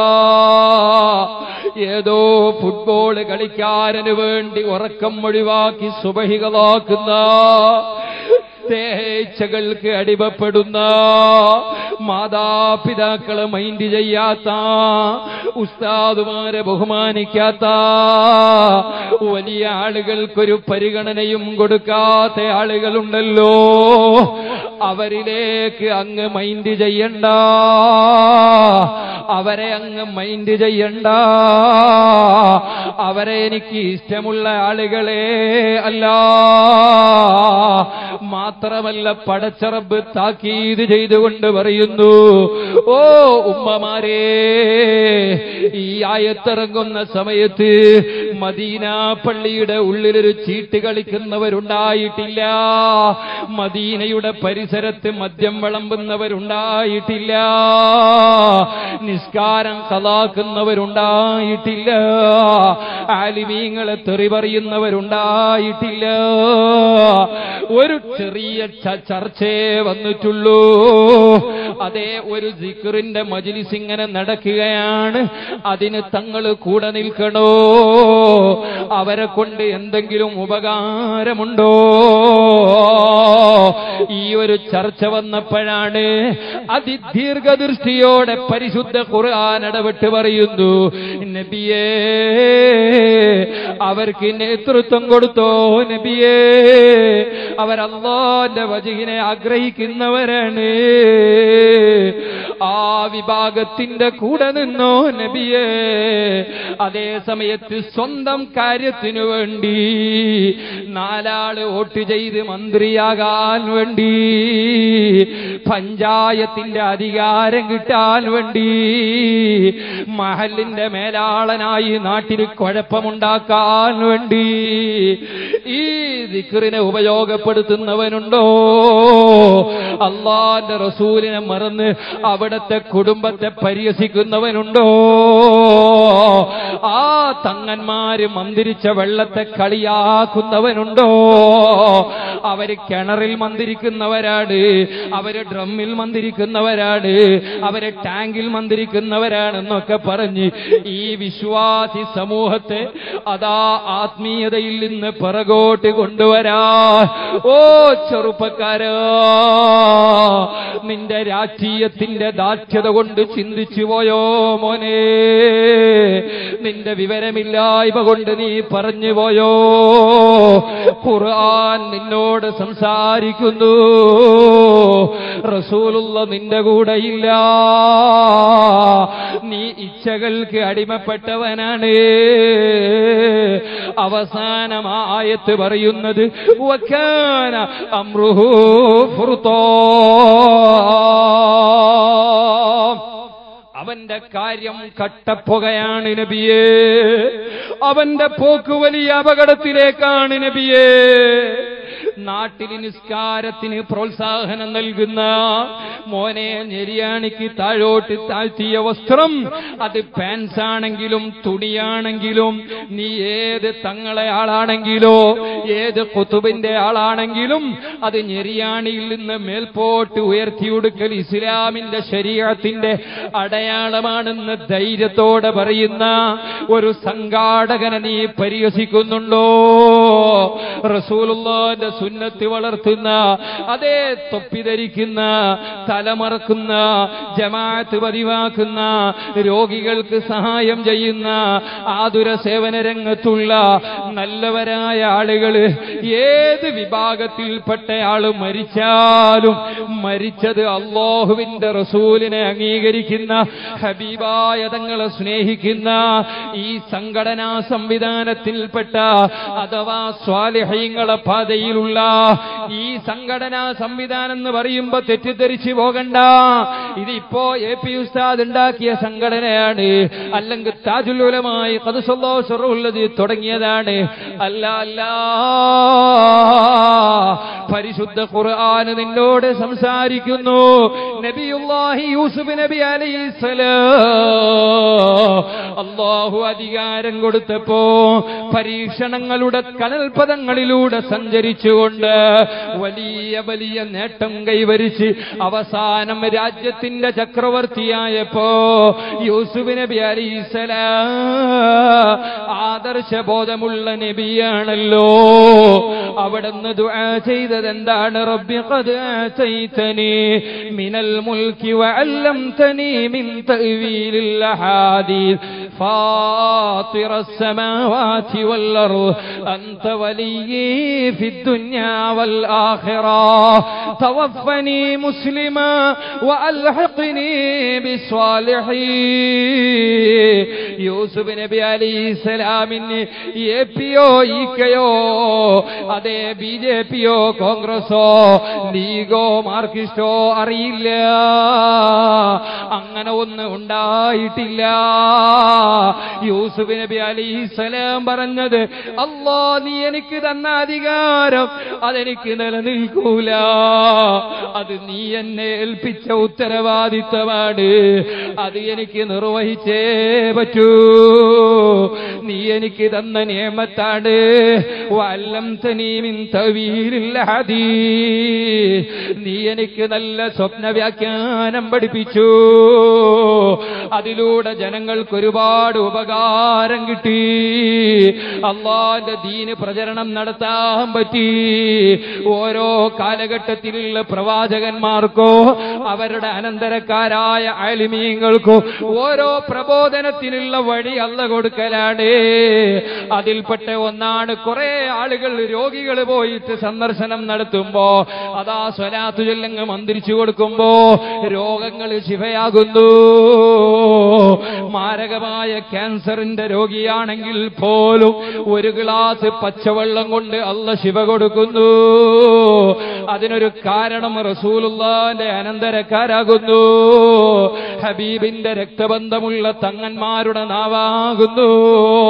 അങ്ങനെ അള്ളാന്റെ ദീനിന്റെ പ്രബോധനത്തിനു വേണ്ടി ഓരോ കാലഘട്ടത്തിലും അള്ളാഹു ചില ഹിക്മത്തുകൾ സ്വീകരിക്കാനാണ് അങ്ങനെ നബിയുല്ലാഹി യൂസുഫ് അലി ഇസ്ലാം പറയുന്നു എന്റെ ഏറ്റവും വലിയ ആയുധം എന്താണ്? വല്ലം തനീ മിൻ തവീലിൽ ഹദീസ്.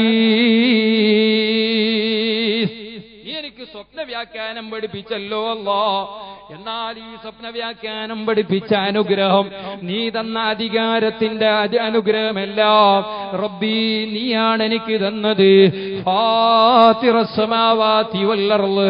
ആകാശഭൂമിയുടെ യഥാർത്ഥ അധിപൻ നീയാ ഈ ആകാശ മണ്ഡപങ്ങളെ ഒരു പ്ലാനുമില്ലാതെ സൃഷ്ടിച്ച ഫാത്തിറാണ് നീയാ.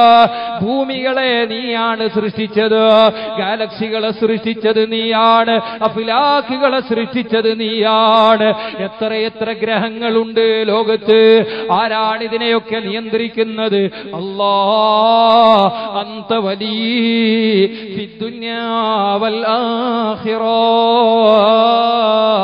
നീയാണ് ദുനിയാവിലും ആഹ്റത്തിലും എന്റെ സംരക്ഷകൻ. എനിക്കൊരു കഴിവില്ലല്ലോ എല്ലാത്തിനും നീയാണ് എന്റെ സംരക്ഷകൻ. നിലയ്ക്ക് അള്ളഹാനോട് പറയുന്നു റബ്ബേ ദുനിയാവ് എങ്ങനെ കഴിഞ്ഞുകൂടിയാലും മരിക്കുന്ന സമയത്ത് നീ എന്നെ മുസ്ലിമാക്കി മരിപ്പിക്കണേ അല്ലോ എന്നാ പിന്നെ അവിടെ അങ്ങ് കഴിഞ്ഞില്ല? മുസ്ലിമായി മരിച്ചാ പിന്നെ തീർന്നില്ലേ? ഇല്ല യൂസുഫ് നബി അലൈഹി സ്വലാം പറയുന്നു പോരാ ഒരു മുസ്ലിമായി ജനിച്ചിട്ട് മുസ്ലിമായി മരിച്ചാ പോരാ.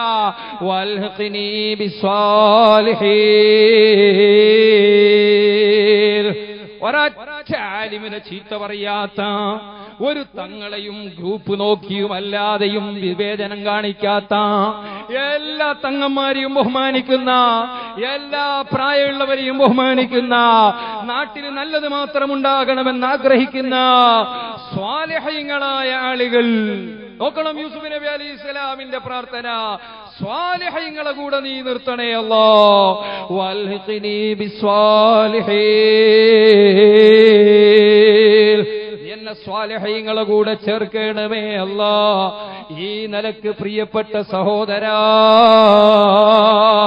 അള്ളാഹുവിന്റെ റസൂൽ സ്വല്ലല്ലാഹു അലൈഹി വസല്ലമ ആരെ കൂടെയാണോ യൂസുഫ് നബി ആഗ്രഹിച്ചത് ആരുടെ കൂടെ നിൽക്കണമെന്നാണോ?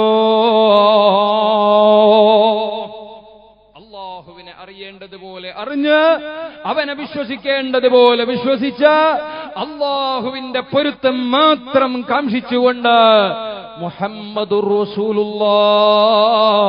റസൂലുള്ളാഹ് മുഹമ്മദുർ റസൂലുള്ളാഹ്.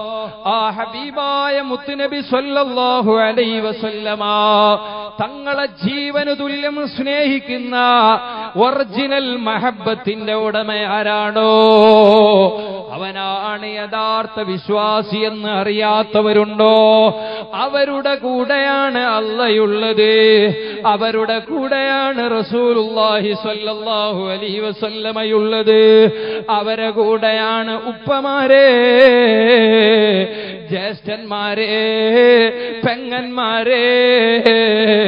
നമ്മൾക്ക് നിൽക്കേണ്ടത് അവരെ കൂടെയാണ്. പിന്നെ മുസ്ലിം ജമാഅത്ത് എന്ന് പറഞ്ഞിട്ട് പുതിയൊരു സംഘടന ഉണ്ടാക്കിയത്. യൂസുഫ് നബിന്റെ കാലത്ത് ഉണ്ടായിട്ടുണ്ടോ എന്ന് ആരും ചോദിക്കണ്ട. സുബഹാനല്ലാ.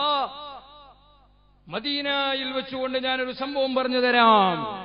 ബഹുമാനപ്പെട്ട ഹിജറ പത്തൊമ്പതാം വർഷം ബഹുമാനപ്പെട്ട ഖത്താബ് ഭരിക്കുന്ന കാലഘട്ടത്തിൽ ശരിക്കും ആലോചിക്കണം പ്രിയപ്പെട്ട സഹോദരങ്ങളെ. എന്തിനാണ് ഈ സംഘടനകളൊക്കെ എന്ന് ചിന്തിക്കേണ്ട. സംഘടനകളൊക്കെ നമുക്ക് പ്രവർത്തിക്കാനുള്ള ഒരു പ്ലാറ്റ്ഫോമാണ്. അള്ളാഹുവിന്റെ ദീനിനു വേണ്ടി പ്രവർത്തിക്കാൻ ആത്മീയമായി നല്ല നേതൃത്വം മഹാന്മാരായ പണ്ഡിതമര്യന്യർ ബഹുമാനപ്പെട്ട സുൽത്താൻ ഉലമ കാന്തപുരം ഉസ്താദ് അള്ളാഹുവേ നീ ആഫിയത്തുള്ള ദീർഘായുസ് നൽകണേ അള്ളാ മഹാന്മാരായ സാദാത്തുക്കൾ ബഹുമാനപ്പെട്ട റഈസുൽ ഉലമ ബഹുമാനപ്പെട്ട സുലൈമാൻ ഉസ്താദ് അള്ളാഹുവേ നീ ആഫിയത്തുള്ള ദീർഘായുസ് നൽകണേ റഹ്മാനെ. ഈ മഹാന്മാരെ പോലെയുള്ള അഗാധ പാണ്ഡിത്യമുള്ള വലിയ തക്കുവയുള്ള മഹത്തുക്കളായ പണ്ഡിതന്മാരുടെ നിർദ്ദേശം അനുസരിച്ച് അവർ നേതൃത്വം കൊടുക്കുന്ന ആ സംഘടനാ സംവിധാനം അത് അള്ളാഹുവിന്റെ ദീനിനു വേണ്ടി പ്രവർത്തിക്കാനുള്ള ഒരു വേദിയാണ്. അതിനാരുടെയും തറവാട് സ്വത്തായിട്ട് ആർക്കൊന്നും പറയാൻ പറ്റൂല. അത് അള്ളാഹു തൗഫീഖുള്ളവർ അതിൽ പ്രവർത്തിക്കും. അള്ളാഹു അത് നമ്മൾക്ക് തൗഫീഖ് നൽകുമാറാവട്ടെ. ഞാൻ പറയുന്നത് അതാരെയും ഇവിടെ വേദനിപ്പിക്കാനുള്ളതല്ല. ആരെയും പേടിപ്പിക്കാനുള്ളതല്ല. അള്ളാഹുവിന്റെ ദീനിന് വേണ്ടി പ്രവർത്തിക്കാൻ എസ് വൈ എസ് എന്ന് പറയുന്ന ഒരു സംഘടനയുണ്ട് അലഹമില്ല ബഹുമാനപ്പെട്ട ഷേഖുന പൊന്മുള ഉസ്താദിനെ പോലെയുള്ള മൗലാന പേരോട് ഉസ്താദിനെ പോലെയുള്ള പണ്ഡിതന്മാർ ചെറുപ്പം മുതലേ പോറ്റി വളർത്തിയ സംഘടനയാണ്. മഹാന്മാരായ പണ്ഡിതന്മാർ കഴിഞ്ഞ കാലങ്ങളിലൊക്കെ വലിയ പത്തറുപത് കൊല്ലം പഴക്കമുള്ള സംഘടന. ആ സംഘടനാ പ്രവർത്തനത്തിന് ഒരു ശാസ്ത്രീയമായ വശം എന്ന നിലയ്ക്ക് അത് പ്രവർത്തിച്ച് അതിന്റെ മേഖല വിട്ടുകഴിഞ്ഞവർക്കുള്ള സംഘടനയാണ് മുസ്ലിം ജമാഅത്ത് എന്നാണ് കർണാടകക്കാരനായ എന്നെ സംബന്ധിച്ചിടത്തോളം അറിവ്. കാരണം ആ സംഘടനക്ക് ഒരു ഏജിയുടെ കണക്കുണ്ട്. അത് കഴിഞ്ഞാൽ പിന്നെ അവൻ റെസ്റ്റ് എടുക്കേണ്ടവനല്ല. അവൻ മരിക്കുന്നത് വരെ വഅ്ബുദ് റബ്ബക ഹത്താ യഅ്തിയകൽ യഖീൻ അവസാന ശ്വാസം വരെയും അള്ളാഹുവിന് വേണ്ടി പ്രവർത്തിക്കേണ്ടവനാണ്. അവർക്ക് അതാ ഒരു പ്ലാറ്റ്ഫോം ഉണ്ടാക്കി കൊടുത്തതാണ് പണ്ഡിതന്മാരുടെ നേതൃത്വത്തിലായി. സാധാത്തുക്കളായ ബഹുമാനപ്പെട്ട ഖലീൽ ബഹുമാനപ്പെട്ട ഇബ്രാഹിം ഖലീൽ ബുഖാരി പോലെയുള്ള മഹാന്മാരായ സാധാത്തുക്കളെ നേതൃത്വത്തിലായിട്ടുള്ള സംഘടന. ഞാൻ പറഞ്ഞു വരുന്നത് പ്രിയപ്പെട്ടവരെ പ്രായമുള്ള ആളുകൾ മനസ്സിലാക്കണം ഞാൻ മരിച്ചു കഴിഞ്ഞാൽ എന്റെ മക്കളും എന്റെ മരുമക്കളും എന്നിൽ നിന്ന് ലഖദ് കാനലക്കും ഫീ റസൂലില്ലാഹി ഉസ്വത്തുൽ ഹസന. ഹബീബായ തങ്ങളിൽ നിന്ന് ഞാൻ എന്തൊക്കെ മാതൃകയാക്കിയിട്ടുണ്ടോ ആ ഒരു മാതൃക എനിക്ക് എന്റെ പിന്തലമുറക്കാർക്ക് എന്നിൽ നിന്ന് ഉണ്ടാക്കിയെടുക്കണം. അതിനിവിടെ കൂട്ടായ നല്ല പ്രവർത്തനം നടത്തിയേ പറ്റൂ. അത് മഹാന്മാര് കാണിച്ചു തന്ന വഴിയാണ്. അതിനൊരു ഉദാഹരണമാണ് ഞാൻ പറയുന്നത്. ഉമർബിനുൽ ഖത്താബ് റളിയല്ലാഹു ഭരിക്കുന്ന കാലം ആ സമയത്ത് മദീനയിലേക്ക് വിദേശത്തിൽ നിന്നൊരാൾ വന്നു പുറംനാട്ടിൽ നിന്ന് ഒരാൾ വന്നു ആ നാട്ടിൽ. അങ്ങനെ വന്ന് അവിടെ താമസിച്ചു കൊണ്ടിരിക്കുമ്പോ എന്തോ ഒരു സംസാരത്തിനിടയിൽ ഒരു ഇടപാട് സംബന്ധമായ സംസാരത്തിനിടയിൽ ഒരു ചെറിയ അടിപിടി ഉണ്ടാകുകയും അങ്ങനെ വിദേശിയായ ഒരാൾ മദീനയാകുന്ന സ്വദേശിക്കാരനായ ഒരാളെ കൊന്നുകളഞ്ഞു ഒരു കൊലപാതകം നടക്കുന്നു. ആരാണ് ഭരിക്കുന്നത്? ബഹുമാനപ്പെട്ട ഉമർബിനുൽ ഖത്താബ്. സിറാവിറക്കും കൈസറും നെട്ടുന്നതാ. മിസിറിൽ മുഖൗഖിസ് കേട്ടുടൻ വിറക്കുന്നതാ. അവരാണ് മീറുൽ മൂമിനീൻ ഉമറല്ലോ. ജനസേവകന്മാ കുല്ലിമാണല്ലോ ഈ രീതിയിൽ മുളപ്പിക്കുവാനൊരു മണ്ണിനും കഴിയൂലടോ. പ്രസവിക്കുവാനൊരു പെണ്ണിനും. ബഹുമാനപ്പെട്ട തഴവുസ്താദ് പഠിപ്പിച്ചതുപോലെ ആ ബഹുമാനപ്പെട്ട ഉമർബിനുൽ ഖത്താബ് തങ്ങൾ ഇന്ത്യ രാജ്യത്തിന്റെ വരതിർത്തി മുതൽ അറ്റ്ലാന്റിക് സമുദ്രത്തിന്റെ തീരം വരെയുള്ള സാമ്രാജ്യത്തിന്റെ അധിപനായ ലോകം കണ്ട ഏറ്റവും വലിയ നീതിമാനായ ഭരണാധികാരി ഹബീബായ നബി സല്ലല്ലാഹു അലൈഹി വസല്ലമ അരുമ ശിഷ്യനായ ഉമർബിനുൽ ഖത്താബ് റളിയല്ലാഹു ഭരിച്ചുകൊണ്ടിരിക്കുന്ന സമയം തങ്ങളെ മഹാനവറുകളെ കോടതിയിൽ ഈ കേസ് ഫയൽ ചെയ്യുകയാണ്. ദൂരമൊക്കെ നിൽക്കുന്ന ആളുകൾക്ക് ഇവിടെ ഒരുപാട് കസേര ഒഞ്ഞു കിടക്കുന്നുണ്ട്. ഇഷാള്ള നിർത്താനായി ബഹുമാനപ്പെട്ട സയ്യിദവറുകൾ ഇൻഷാല്ല അവരൽപ്പസമയത്തിനൊക്കെ ഇവിടെ എത്തും. അപ്പൊ ചെറുതായിട്ടൊക്കെ മഴയൊക്കെ പാർന്നതിന് വലിയ സൗകര്യങ്ങൾ ഈ സംഘടന അലഹമില്ല നാട്ടുകാർ ഈ പ്രവർത്തകർ ഉണ്ടാക്കിയിട്ടുണ്ട്. അതിനെല്ലാവരും ഉപയോഗപ്പെടുത്തുക. ഇൻഷാല്ല വളണ്ടിയേഴ്സ് അല്ലാത്ത എല്ലാവരും വന്ന് സദസ്സിലിരുന്നോളി. ഇഷാള്ള പിന്നെ സീറ്റ് കിട്ടിക്കൊള്ളണമെന്നില്ല. നമ്മുടെ ഉമ്മമാര് ഒരുപാട് സഹോദരിമാര് അതേപോലെ തന്നെ ഒരുപാട് രോഗികളായ ആളുകൾ ഒരുപാട് വിഷമങ്ങളിലും ബേജാറിലും പടിഞ്ഞാറിലൊക്കെ കഴിയുന്ന ആളുകൾ സുബഹാനല്ല ഇപ്പോ ഇന്റർനെറ്റിൽ ഫേസ്ബുക്കിൽ അതുപോലെ വാട്സപ്പിലൊക്കെ ഈ പരസ്യം ഈ പരിപാടിയുടെ പരസ്യം കണ്ടിട്ട് വിദേശത്തിൽ നിന്ന് ഒരുപാട് ആളുകളൊക്കെ എന്നെ എന്നെ അറിയുന്ന ഒരുപാട് ആളുകൾ എന്നെ വിളിച്ചു. തങ്ങളുപ്പാപ്പുള്ള സദസ്സിൽ വെച്ച് ദ്വാരക്കാൻ വേണ്ടി പറഞ്ഞിട്ടുണ്ട്. ബഹ്റൈനിൽ നിന്നും കുവൈത്തിൽ നിന്നും അങ്ങനെ ഒരുപാട് നാടുകളിൽ നിന്ന്. എന്തേ? ഈ പരിപാടി ഇവിടെ നടക്കുന്നത് പാലക്കാട് ജില്ലയിലെ പൈലിപ്പുറം എന്ന് പറയുന്ന ഈ ചെറിയ പ്രദേശത്താണെങ്കിലും ഇത് ലോകത്തിന്റെ നാനാഭാഗങ്ങളിൽ നിന്നും ശ്രദ്ധിക്കപ്പെടുന്ന ഒരു പരിപാടിയാണ്. ഒന്ന് അലഹമില്ല നമ്മുടെ മീഡിയ മിഷൻ എന്ന് പറയുന്ന നമ്മുടെ ചാനലിലൂടെ അലഹമില്ല ഇത് ലോകത്തിന്റെ നാനാഭാഗത്തും എത്തിക്കൊണ്ടിരിക്കുന്നു. അതോടൊപ്പം ഒരുപാട് ആളുകൾ ദുആ കൊണ്ട് വസീയത്ത് ചെയ്ത ഒരുപാട് ഇജാബത്ത് പ്രതീക്ഷിക്കപ്പെടുന്ന ഒരു മജ്ലിസ അപ്പൊ അതുകൊണ്ട് ഇൻഷാ അള്ളാ സയ്യിദ് അവറുകളെ സംബന്ധിച്ചിടത്തോളം നമുക്കറിയാം മഹാനവറുകളുടെ ആ ഒരു ബർക്കത്തിനു വേണ്ടി ഇന്ന് ലോകത്തിന്റെ വിവിധ മേഖ ഭാഗങ്ങളിലുള്ള ആളുകൾ കൊതിക്കുന്ന ഒരു സമയമാണ്. അള്ളാഹു അവിടത്തെ ഐസത്തിലേക്ക് അള്ളാഹു ഉയർത്തുകയും ദീർഘകാലം അവിടുത്തെ തണൽ അള്ളാഹു നീട്ടിത്തരുകയും ചെയ്യുമാറാവട്ടെ. അള്ളാഹു ഒരു ബർക്കത്തുകൊണ്ട് നമ്മളുടെ എല്ലാ പ്രശ്നങ്ങളും ബേജാറുകളും അള്ളാഹു തല മാറ്റി തരുമാറാവട്ടെ അപ്പൊ അതുകൊണ്ട് ആരും ദൂരെ നിൽക്കണ്ട എല്ലാവരും സദസ്സിൽ വന്നിരുന്നോളി. ഇൻഷാല്ല ഞാൻ പറഞ്ഞു വരുന്നത് കൂട്ടത്തിൽ ഇൻഷാല്ല ബക്കറ്റും വരുന്നുണ്ട്. കാര്യമായി ഇൻഷാല്ല ബഹുമാനപ്പെട്ട തങ്ങളുപ്പാപ്പയിൽ നിന്ന് ബർക്കത്ത് കിട്ടാൻ വേണ്ടി എല്ലാവരും ഈ മജ്ലിസിന്റെ വിജയത്തിനു വേണ്ടി സഹായിക്കണം. അള്ളാഹു ഇവിടെ നല്ല പ്രവർത്തനങ്ങൾ ഉണ്ടാകാൻ അഖിലുസുന്നത്ത് വൽ ജമാഅത്തിന്റെ ഇസ്സത്ത് ഈ നാട്ടിൽ വളർന്നു കിട്ടാൻ എന്തൊക്കെ ആവശ്യമുണ്ടോ മദ്രസയും അതിന്റെ നടത്തിപ്പുമായി ബന്ധപ്പെട്ട് സ്ഥിര വരുമാനമായി എന്തൊക്കെ ആവശ്യമുണ്ടോ അർഹമുറാഹിമായ റബ്ബെ ഈ മജ്ലിസിന്റെ ബർക്കത്തുകൊണ്ട് മഹാന്മാരെ ഹക്ക് കൊണ്ട് ബഹുമാനപ്പെട്ട ബായാറ് തങ്ങൾ പാപ്പയെ പോലെയുള്ള സാധാത്തുക്കളുടെ ബർക്കത്തുകൊണ്ട് നീ നൽകണം റഹ്മാനെ. ഒരുപാട് ചെലവുകളുണ്ട്. ഇൻഷാ അള്ളാ അതൊക്കെ ബഹുമാനപ്പെട്ട തങ്ങൾ പാപ്പന്റെ ദുആ കിട്ടാൻ വേണ്ടി എല്ലാവരും മനസ്സിലാക്കിയിട്ട് ആവശ്യമായ സഹായങ്ങൾ ചെയ്യണം. അള്ളാഹുവേ നീ ഞങ്ങൾക്ക് ഹൈറും റഹ്മത്തും ചൊരിഞ്ഞു തരണേ അള്ളാ ഇത്രയും വലിയ മഴക്കാലത്ത് സുബഹാന ജല്ല ജലാലുഹു വളരെ ധൈര്യത്തോടെ തന്നെയാണ് ഈ മഹത്തായ പരിപാടി. എന്തായാലും ഇവിടെ സംഘടിപ്പിച്ചിട്ടുള്ളത്. അലഹമില്ല അള്ളാഹു നമ്മൾക്ക് എല്ലാ നിലക്കും അനുകൂലമാക്കി തരുമാറാവട്ടെ. നമ്മുടെ പാവങ്ങളൊക്കെ അള്ളാഹു പുറത്തു തരുമാറാവട്ടെ. പ്രിയപ്പെട്ട സഹോദരങ്ങളെ അങ്ങനെ ഒരു കൊലപാതകം നടത്തുകയാണ്. എവിടെ? മദീനയിൽ. ആ കൊലപാതകം നടന്ന് കേസ് കോടതിയിലെത്തി. ബഹുമാനപ്പെട്ട അല്ലാഹുവിന്റെ കോടതിയിലെത്തി. കോടതിയിലെത്തിയിട്ട് സാക്ഷി വിസ്താരങ്ങളും അതുപോലെ തന്നെ പ്രതിയൊക്കെ ഹാജരാക്കി അങ്ങനെ ഞാൻ ചുരുക്കി പറയാം. അവസാനം എന്താണ് പിന്നെ ഇസ്ലാമിക ശരീരത്തിലുള്ള നാട്ടിൽ? കൊലപാതകത്തിനുള്ള ശിക്ഷ. ആ കൊലപാതകം തെളിയിക്കപ്പെട്ടാൽ സാക്ഷി മുഖാന്തരം തെളിയിക്കപ്പെട്ടാൽ അദ്ദേഹത്തെ കൊല്ലപ്പെടുക തന്നെയാണ്. അങ്ങനെ കൊല വിധിച്ചു. അദ്ദേഹത്തിനെ കൊല്ലാൻ വേണ്ടി കോടതി വിധിച്ചു.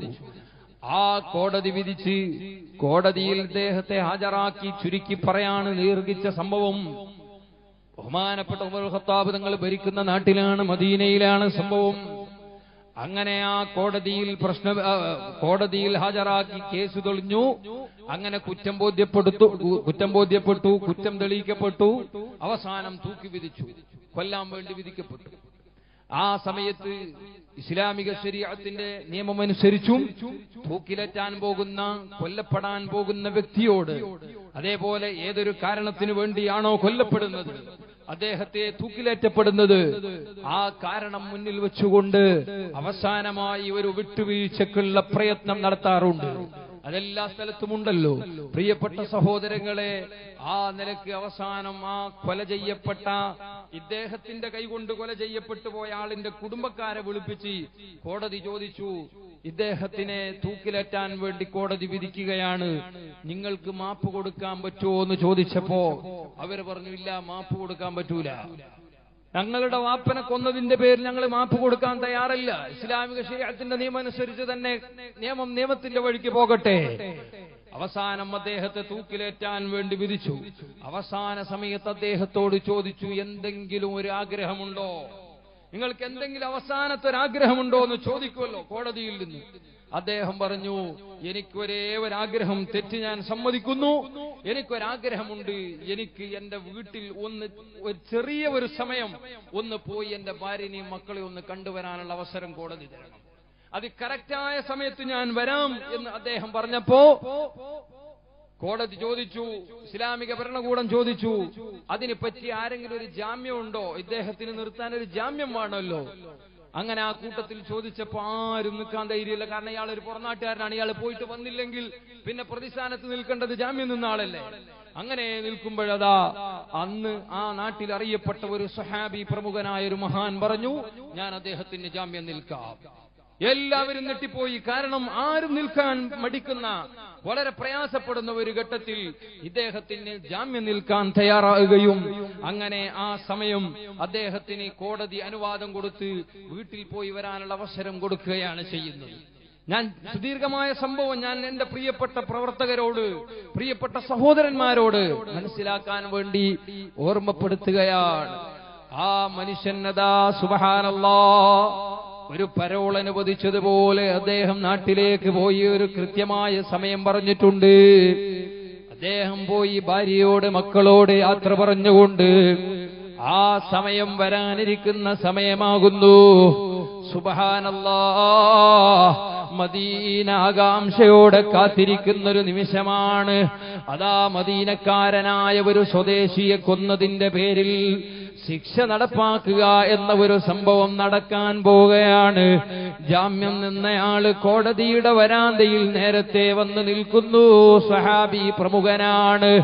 അങ്ങനെ എല്ലാ വിഷയങ്ങളും ഇങ്ങനെ നടന്നുകൊണ്ടിരിക്കുമ്പോ അതാ പ്രതി വരേണ്ട സമയമായി സമയമായി സമയമായി എല്ലാവരും വളരെ പ്രയാസപ്പെട്ടു നിൽക്കുന്ന സമയം നോക്കുമ്പോ കൊല വിധിക്കപ്പെട്ടയാളെ കാണാനില്ല.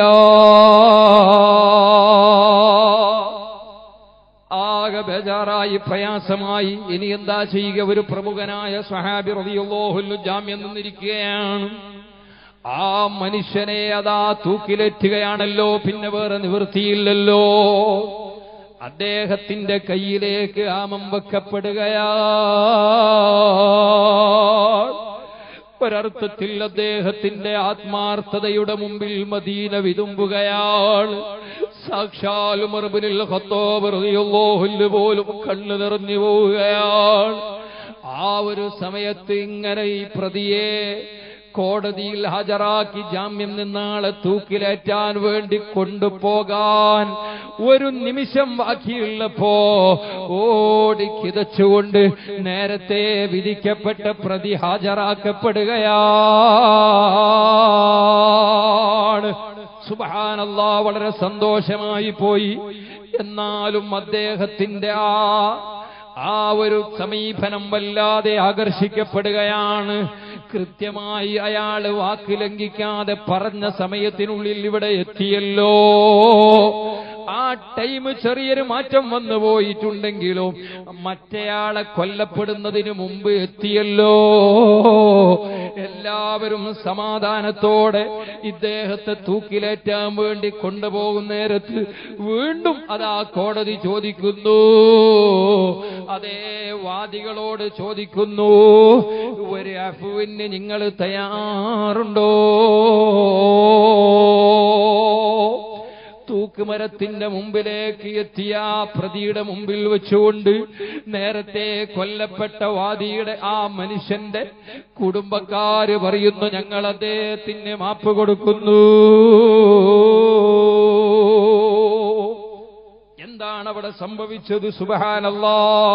വളരെ അത്ഭുതകരമായ മൂന്ന് സംഭവങ്ങൾ അവിടെ നടക്കുകയാണ്. ഒന്ന് തൂക്കി വിധിക്കപ്പെട്ട പ്രതിയതാ.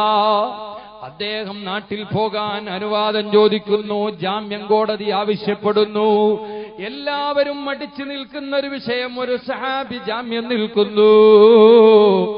അതൊരു വലിയ വലിയ ഒരു സേവനമല്ലേ സഹോദരാ? വളരെ ധൈര്യത്തോട് തന്റെ ഇടത്തോടെ ചെയ്യേണ്ടുന്ന ഏറ്റെടുക്കേണ്ടുന്ന ഒരു സേവനമല്ലേ? അദ്ദേഹത്തോട് ചോദിക്കപ്പെട്ടു നിങ്ങൾക്ക് എങ്ങനെ ഇതിന് ധൈര്യമുണ്ടായി? നിങ്ങൾക്ക് എങ്ങനെ ഇദ്ദേഹം നാട്ടിൽ പോയി തിരിച്ചു വരാതിരുന്നെങ്കിലോ?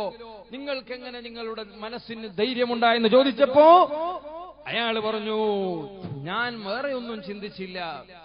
ഇതൊരു അപൂർവങ്ങളിൽ അപൂർവമായ സംഭവമാണ്. ഒരു പുറനാട്ടിൽ ഒരാൾക്ക് ഇവിടെ തൂക്കി വിധിച്ചിട്ട് അയാൾക്ക് നാട്ടിലേക്ക് പോയി വരാനുള്ള അവസരം കോടതി കൊടുക്കുന്നു. പക്ഷെ ജാമ്യം ആവശ്യപ്പെടുന്നു. ഇത് അപൂർവമായ ഒരു സംഭവമാണ്. ഇനി പിൽക്കാലത്ത് ഇങ്ങനെ ഒരു സാഹചര്യം ഉണ്ടായാൽ അത് മാതൃകയാക്കുന്ന തന്റെ ഇടമുള്ള ഈമാനുള്ള മുമ്മിനിങ്ങൾ ഉണ്ടാകണം. അതിന് മാതൃകയാകാൻ പറ്റുന്ന ഒരു പ്രവൃത്തിയാണ് ഞാനിവിടെ ചെയ്തത്. അള്ളാഹു അക്ബർ. വലിയ സന്തോഷമായി. ഇദ്ദേഹത്തോട് ചോദിച്ചു നിങ്ങൾ തൂക്കിൽ വിധിക്കപ്പെട്ട ഒരു പ്രതിയല്ലേ? നിങ്ങൾ നാട്ടിൽ നിങ്ങളുടെ നാട് ഞങ്ങൾക്കറിയില്ല. ഈ നാട്ടുകാർക്ക് നിങ്ങളെ പരിചയമില്ല. കുറ്റം തെളിയിക്കപ്പെട്ടു ശിക്ഷ വിധിക്കപ്പെട്ടു. നിങ്ങൾക്ക് നല്ലൊരു ജാമ്യവും കിട്ടി.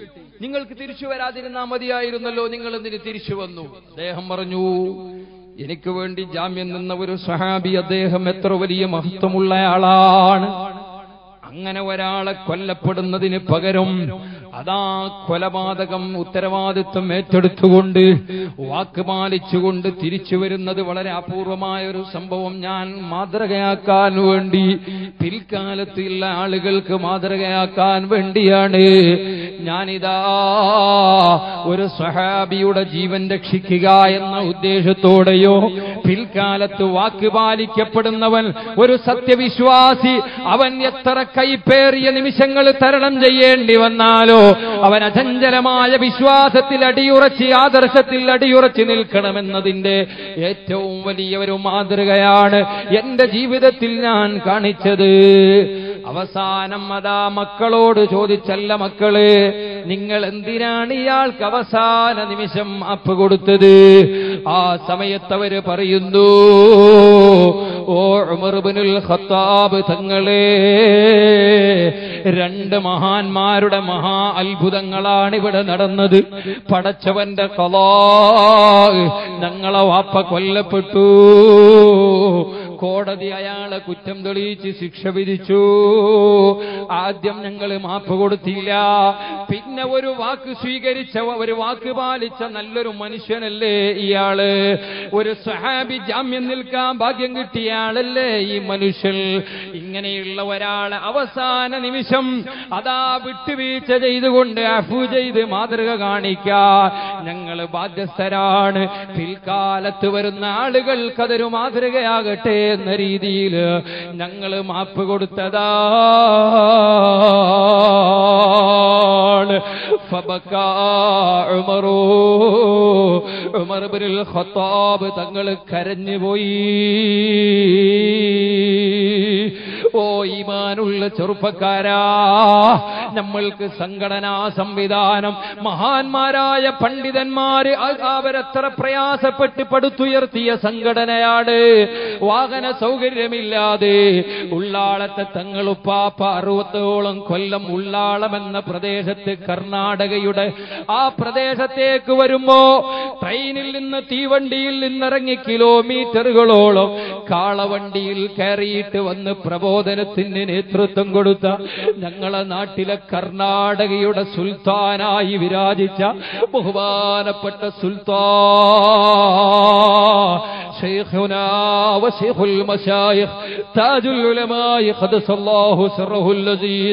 എത്ര ത്യാഗം ചെയ്തിട്ടാണ് ഈ സംഘടനാ സംവിധാനത്തെ വളർത്തിയത്? എഴുപത് വയസ്സ് കഴിഞ്ഞ് കാലുകൾ നീര് കെട്ടിയിട്ട് കൊടക് ജില്ലയിൽ എരുമാടിൽ നിന്ന് ഞാൻ ഈ നാട്ടിലേക്ക് വരുമ്പോഴേക്ക് ഒരു ദിവസത്തെ യാത്രയിൽ മുപ്പത്തിനാല് വയസ്സ് പ്രായമുള്ള ഞാൻ തളർന്നുപോയി. ചെറിയൊരു പ്രഭാഷണം നടത്തുമ്പോഴേക്ക് എനിക്ക് വല്ലാതെ ക്ഷീണം വരുന്നു. എഴുപത്തിയാറ് വയസ്സ് കഴിഞ്ഞിട്ട് കാലുകൾ സ്വന്തം പൊക്കി വെക്കാൻ പറ്റാതെ നീര് കെട്ടി നിൽക്കുന്ന സുൽത്താനുലമക്കാന്തവര മുസ്താദ് അല്ലോ ആഫിയത്ത് നൽകണേ അല്ലോ. ഇന്നലെ ജാമിയ സഅദിയിലെ പണ്ഡിത ദർശിലേക്ക് എത്തുകയാണ്. മിന്നാത് തമിഴ്നാട്ടിലെ സമ്മേളനത്തിലാൾ അതിന്റെ തൊട്ടുമുമ്പത്തെ ദിവസത്തിൽ കൊല്ലം ജില്ലയിലെ സാധുവായ ഞാൻ പഠിച്ച ഞങ്ങളെ കരളിന്റെ കഷ്ണമായ ഖാദിസിയ എന്ന സ്ഥാപനത്തിൽ വെച്ചുകൊണ്ട് അതാ പ്രൗഢമായ പരിപാടിയിൽ നേതൃത്വം നൽകുന്ന സുൽത്താനുൽ എന്തിനു വേണ്ടിയാണ് അധ്വാനിക്കുന്നത്? ഈ ഉമ്മത്തിന്റെ പ്ര- പുരോഗതിക്ക് വേണ്ടിയാണ്. ഇവിടെ സമാധാനമുണ്ടാകാൻ വേണ്ടിയാണ്. ഇവിടെ ഇൽമിന്റെ പ്രചാരകരുണ്ടാകാൻ വേണ്ടിയാണ്. അല്ലാതെ ഇവിടെ രാഷ്ട്രീയമായ നേട്ടങ്ങൾ എന്തിനാണ് എന്തിനാണ് താജുൽ ഉലമക്ക്? ആരാണ് അതിന്റെ പിന്നിലുള്ളത്? പ്രിയപ്പെട്ട സഹോദരാ ആ പണ്ഡിതന്മാരും ത്യാഗത്തിലൂടെ പടുത്തുയർത്തിയ ഈ സംഘടന ഈ സംഘടനയിൽ ഒരു അംഗമാകാൻ നമ്മൾക്ക് ഭാഗ്യം കിട്ടിയാൽ നമ്മൾ അതിനെ അള്ളാന്റെ ദീനിന്റെ പൊരുത്തത്തിലായി ആ എട്ടിക്കുളത്തിന്റെ ആറടി മണ്ണിൽ കിടക്കുന്ന താജുൽ ഉലമയുടെ ആശീർവാദം പ്രതീക്ഷിച്ചുകൊണ്ട് നമ്മൾ നമ്മൾ പ്രവർത്തിക്കുമ്പോ നമ്മൾക്കൊരു തങ്ങളും ചെറുതായി കാണാൻ പറ്റുമോ അതേ റസൂലുള്ളാന്റെ സന്ദേശം എന്താണ്? അതേ സദ്യമോ കുറൈശ വലൗക്കാന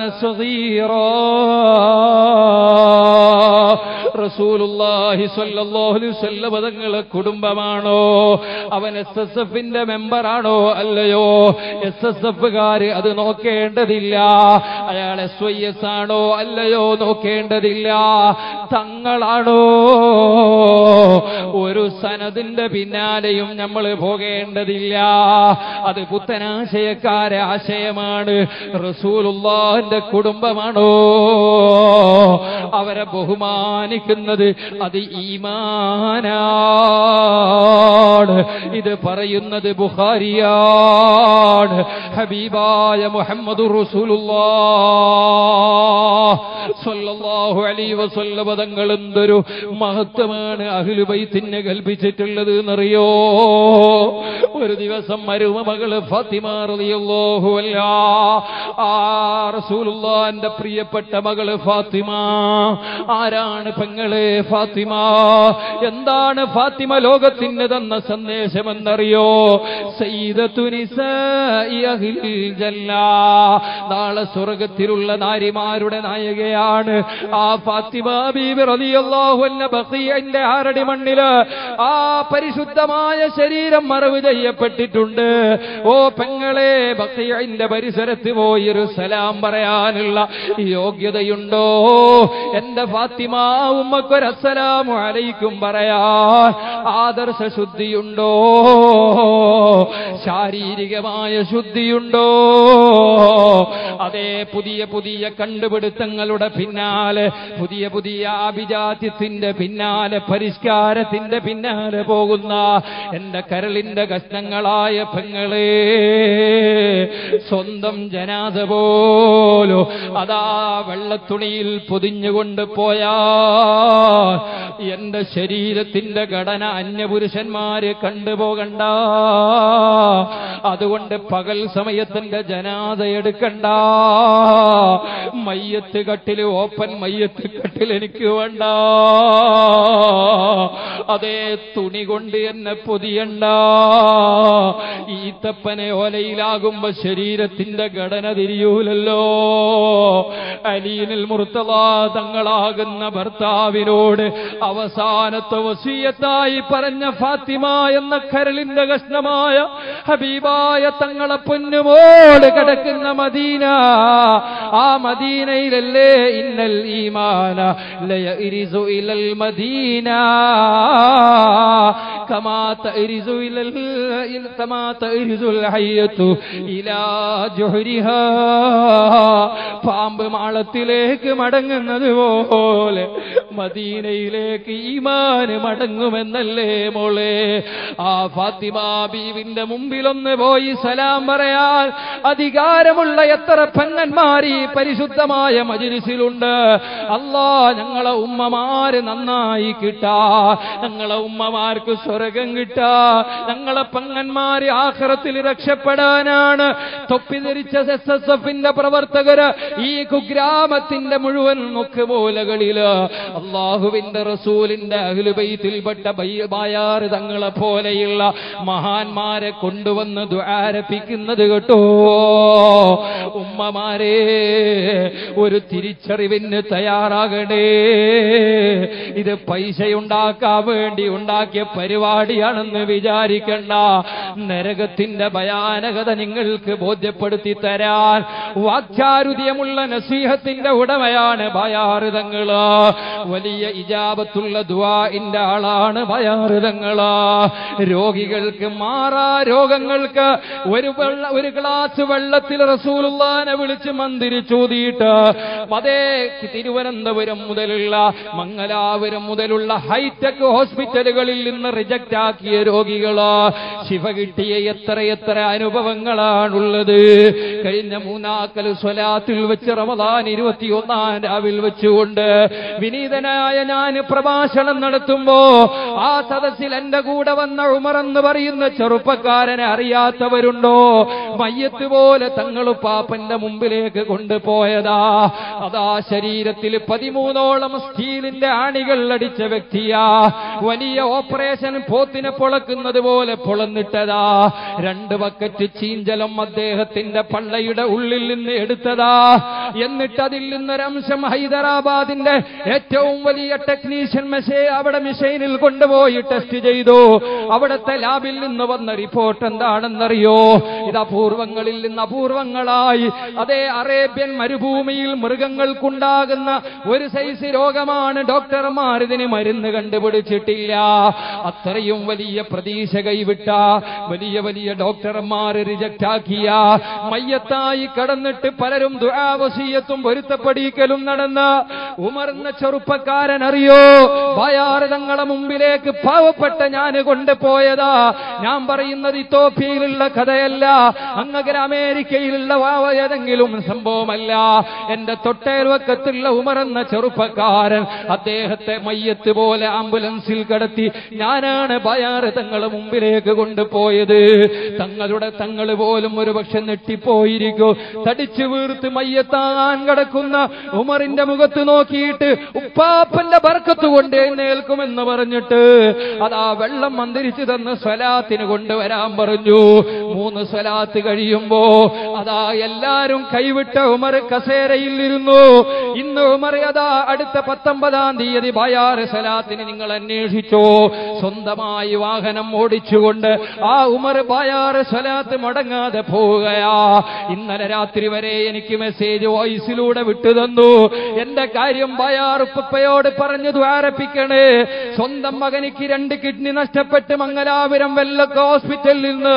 അതാ മൂന്ന് ഡയാലീസ് കഴിഞ്ഞു പ്രതീക്ഷയില്ലെന്ന് പറഞ്ഞ പതിമൂന്ന് വയസ്സുള്ള ആമിർ എന്ന് പറയുന്ന ചെറിയ പൊന്നുമോനതാ. അള്ളാഹുവിന്റെ റസൂലിന്റെ ശറഫ് കൊണ്ട് ബായാറ് തങ്ങൾ പാപ്പ ഒരു കുപ്പി വെള്ളത്തിൽ അവിടത്തെ റൂമിൽ ഇങ്ങനെ മലർന്നു കിടന്ന് ഞാൻ അവിടത്തെ തലയിണയുടെ അരിയിൽ പോയിരുന്ന്. അവിടത്തെ കൈ ഇങ്ങനെ പിടിച്ചതാ ഞാൻ അവിടത്തെ സന്തോഷിപ്പിച്ചു കൊണ്ടിരിക്കുമ്പോ രണ്ട് കൈ ഉയർത്തിയിട്ട് അസ്വലാത്തു വസ്സലാമു അലൈക്ക യാ റസൂലല്ലാ എന്ന് വിളിച്ചുകൊണ്ട് മന്ത്രി ചോദിയിട്ട് പറഞ്ഞു ഈ വെള്ളം മംഗലാപുരത്തേക്ക് ഹോസ്പിറ്റലിൽ എത്തിക്കണമെന്ന് പറഞ്ഞ് സ്വലാത്ത് കഴിഞ്ഞ രാവിലെ ശനിയാഴ്ച രാവിലെ പത്ത് മണിക്ക് പതിമൂന്ന് വയസ്സ് പ്രായമുള്ള ആമിറന്ന പൊന്നുമോന്റെ ആ വായിലേക്ക് വെള്ളം ഉറ്റിച്ചു കൊടുക്കുന്നു.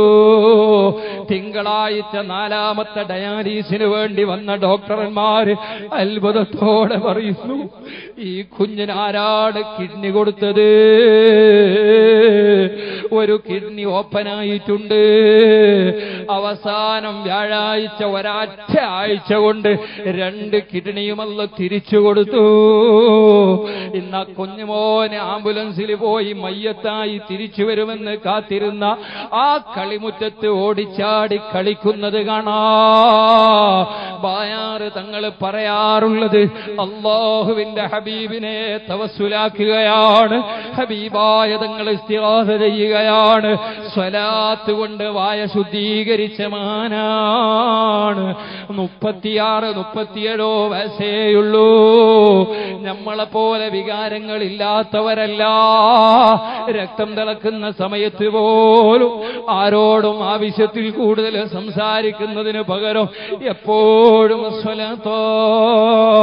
ഒരാശക്കുറസൂലായി കഴിഞ്ഞുകൂടുന്ന വലിയ അസറുള്ള ഇൽമുള്ള മഹാനായ ഒരു പണ്ഡിതവരണ്യരാണ് തങ്ങളുപ്പാപ്പ ഇതെനിക്ക് മാത്രം പറയാനുള്ളതല്ല. മലപ്പുറം ജില്ലയിലെ തലയൊട്ട് തലയെടുപ്പുള്ള മഹാന്മാരായ പൊന്മള ഉസ്താദിനെ പോലെയുള്ള പ്രഗത്ഭരായ പണ്ഡിതന്മാര് അംഗീകരിച്ച വലിയ സ്ഥാനമല്ല കൊടുത്ത മഹാനാ പടച്ചറൊബേ ഈ ഉമ്മത്തിന് നീ കനിഞ്ഞേകിയ ഈ സ്വത്ത് നീ ധാരാളം കാലം നിലനിർത്തണേ അല്ലോ. ഈ കഴിഞ്ഞ റമദാൻ മാസത്തിൽ എന്റെ സഹോദരന്മാരെ ഇതുകൂടെ ഞാൻ പറഞ്ഞുകൊണ്ട് എന്റെ വാക്കുകൾ അവസാനിപ്പിക്കുകയാ.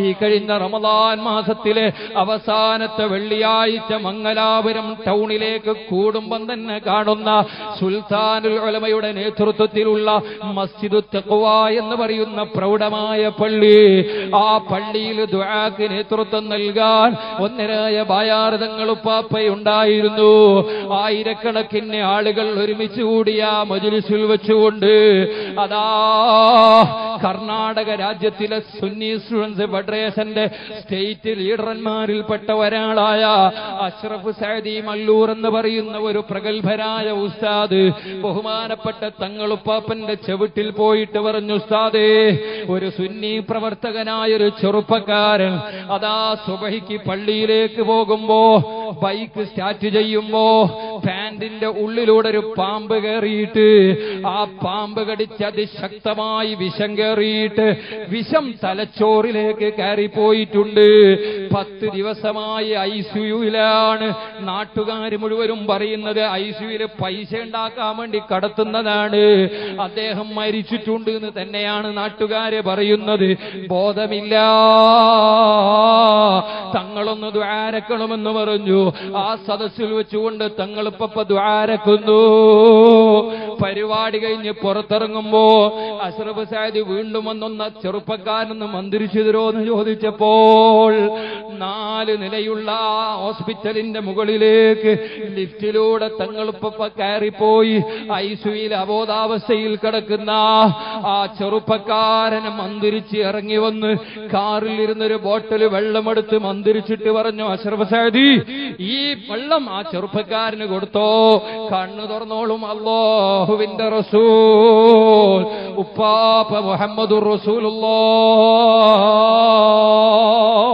ഹബീബായ സല്ലല്ലാഹു അലൈഹി വസല്ലമ തങ്ങളെ ശറഫ് കൊണ്ട് അല്ല ശിഫയാക്കും ആഫിയത്താക്കുമെന്ന് പറഞ്ഞു. ആ വെള്ളം കൊണ്ട് പോയി ആ ചെറുപ്പക്കാരനെ അഷറഫ് സാരി കൊടുത്തത്. അതാ അദ്ദേഹം മരിച്ചിട്ടില്ല. ഹയത്തോടെയുണ്ട്. അള്ളാഹു ദീർഘായുസ് കൊടുക്കുമാറാവട്ടെ. കഴിഞ്ഞ ബായാറ് സ്വലാത്തിൽ വെച്ച് അദ്ദേഹം അത് പരസ്യമായി പറഞ്ഞു. ഉടിപ്പിക്കാരനായ രണ്ട് മക്കളുടെ പിതാവാകുന്ന സുദ്ദീഖ് എന്ന് പറയുന്ന ആ ചെറുപ്പക്കാർ പിറ്റേത് തന്നെ ഹോസ്പിറ്റലിൽ നിന്ന് ഡിസ്ചാർജ് ചെയ്യുന്നു. അന്നത്തെ തറാവീഹിന് പങ്കെടുക്കുന്നു. കഴിഞ്ഞ സ്വലാത്തിന് പരസ്യമായി അള്ളാഹുവിന്റെ റസൂലിന്റെ പേരിലുള്ള മജലിസിൽ സംബന്ധിച്ചത് ഇത് കെട്ടുകഥയല്ല. അള്ളാഹുവിന്റെ റസൂലിന്റെ ഷറഫാണ് ഇത് നിഷേധിക്കുന്നത് സുന്നത്ത് ജമാഅത്തിനെ നിഷേധിക്കുന്നവരാണ്. അള്ളാഹുവിന്റെ റസൂലിന്റെ ശറഫല്ലാതെ പായാറ് തങ്ങൾ ഇതിന്റെ കറാമത്താണെന്ന് പറയാറില്ല. നമ്മളും അത് പറയുന്നില്ല. പക്ഷെ ഒന്ന് ഉറപ്പാണ്. എപ്പോഴും മഹാനവറുകൾ പറയാറുള്ളത് പോലെ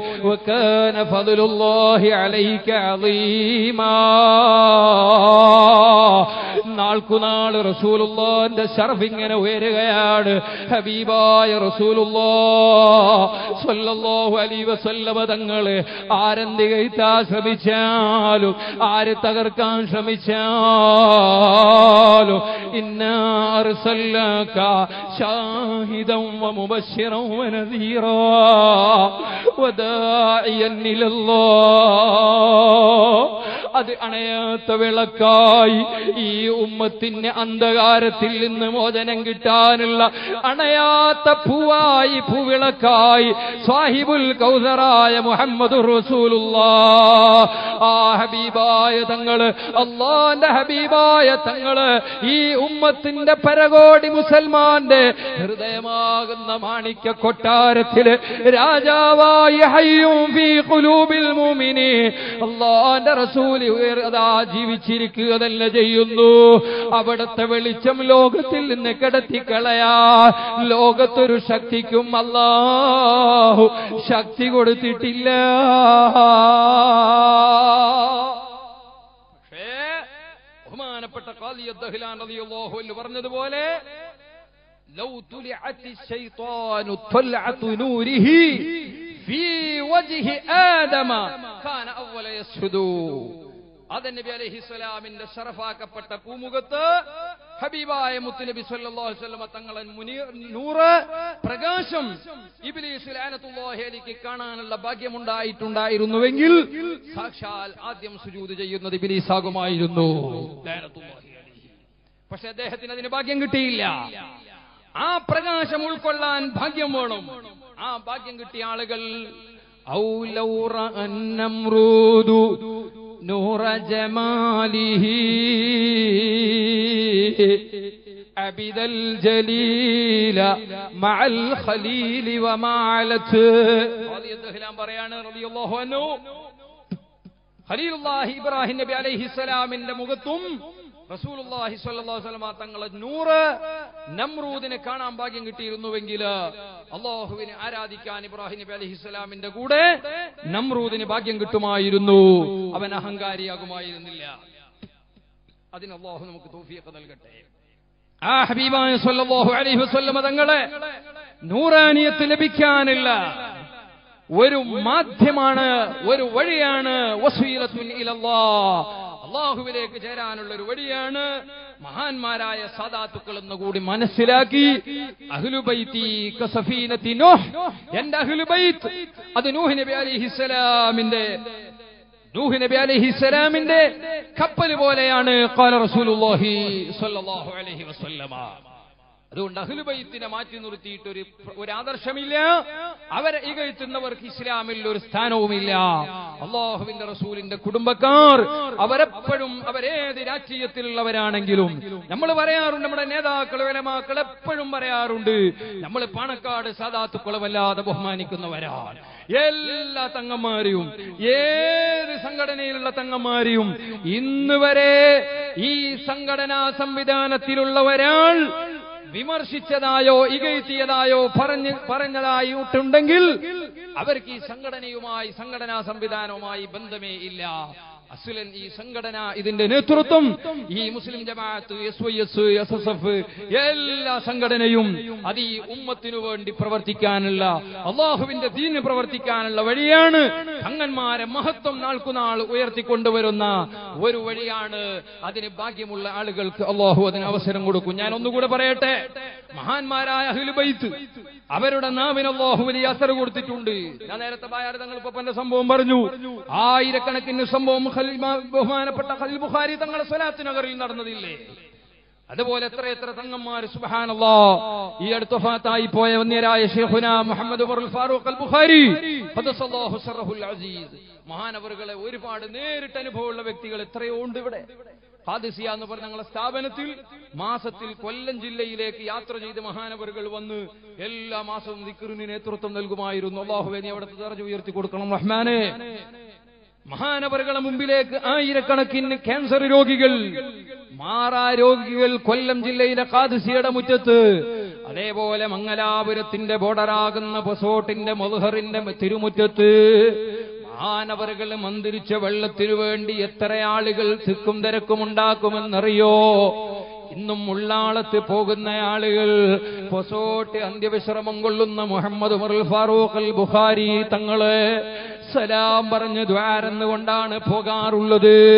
ആയിരക്കണക്കിന് ആളുകൾ അവിടുന്ന് അതാ സിയാറത്തിന് വരികയാണ്. സുഹാനല്ലാ അങ്ങനെ മഹാന്മാരായ തങ്ങന്മാര് അവരെല്ലാവരും വലിയ ശറഫുള്ളവരാണ് ഞാൻ ഈ നാട്ടുകാരോട് പറയട്ടെ എന്റെ പൊന്നാര സഹോദരാ. ഓ ഉപ്പമാരെ ഉമ്മമാരെ ഞാൻ എന്റെ ജീവിതത്തിൽ ആദ്യമായിട്ടാണ് ഈ നാട്ടിലേക്ക് വരുന്നത്.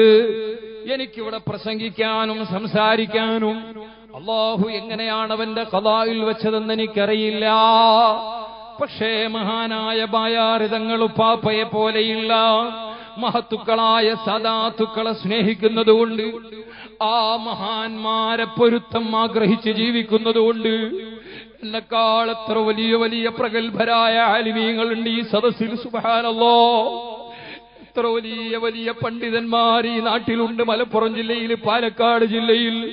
പക്ഷേ ആ മഹാന്മാരെ സ്നേഹിക്കുന്ന ഒരൊറ്റ കാരണം കൊണ്ടായിരിക്കാം. ഒരു യോഗ്യതയുമില്ലാത്ത എനിക്ക് ഈ നാട്ടിൽ വന്ന് സംസാരിക്കാനുള്ള അവസരം തന്നത് എന്ന് ഞാൻ മനസ്സിലാക്കുന്നു. അള്ളാഹുവേ കയ്യിൽ അമലുകളില്ല ഈമാനില്ല ദോഷങ്ങൾ പെരുത്തുപോയവരാണ്. നീ സ്വീകരിക്കണം റഹ്മാന്. അവരോടുള്ള ബന്ധം കൊണ്ട് നീ ഞങ്ങൾക്ക് ഹബീബായ മുഹമ്മദ് റസൂലുള്ളാഹി സ്വല്ലല്ലാഹു അലൈഹി വസല്ലമ തങ്ങളെ ജീവിതത്തിൽ ഒരുപാട് തവണ കാണാനും ബന്ധപ്പെടാനും അവിടത്തെ ശഫാഅത്ത് ലഭിക്കാനും അവിടത്തെ ഔദുൽ കൗസർ ലഭിക്കാൻ ഭാഗ്യം നേടണം റഹ്മാനെ. ഓ സഹോദരന്മാരെ ഞാൻ ഇങ്ങോട്ട് വരുമ്പോ എന്നെ ക്ഷണിച്ച അബ്ദുസലാം എന്ന് അബ്ദുള്ള എന്ന് പറയുന്ന ചെറുപ്പക്കാരൻ. അള്ളാഹുവെ നീ ബർക്കത്ത് ചെയ്യണം റഹ്മാന്. അദ്ദേഹം എന്നോട് പറഞ്ഞു ഉസ്താദെ എന്റെ കയ്യിൽ ഒരു സമ്പാദ്യവുമില്ല. എനിക്കൊരൊറ്റ ആഗ്രഹമേ ഉള്ളൂ. മഹാന്മാരായ തങ്ങന്മാരെ സേവിച്ചുകൊണ്ട് അഹ്ലുബൈത്തിനെ സ്നേഹിച്ചുകൊണ്ട് നാളെ ആഹ്റത്തിൽ റസൂലുള്ളാഹു അലൈഹി വസല്ലമ തങ്ങളെ ശഫാഅത്ത് കിട്ടുമല്ലോ. അമലൊന്നും കയ്യിലില്ലല്ലോ. ഞാനപ്പോ റൊബേ റബ്ബേ. അസ്ഹാബുൽ കൗബ് എന്ന് പറയുന്ന ഔലിയാക്കളില്ലേ ഖുർആാന് പരിചയപ്പെടുത്തിയിട്ട് ആ അസ്ഹാബുൽ കൗബിന്റെ കൂടെ അതാ അവരെ സേവനം ചെയ്ത ഒരു നായന്റെ ചരിത്രം പറയുന്നുണ്ട്. ആ നായ സ്വർഗത്തിലാ. എന്തേ കാരണമെന്നറിയോ?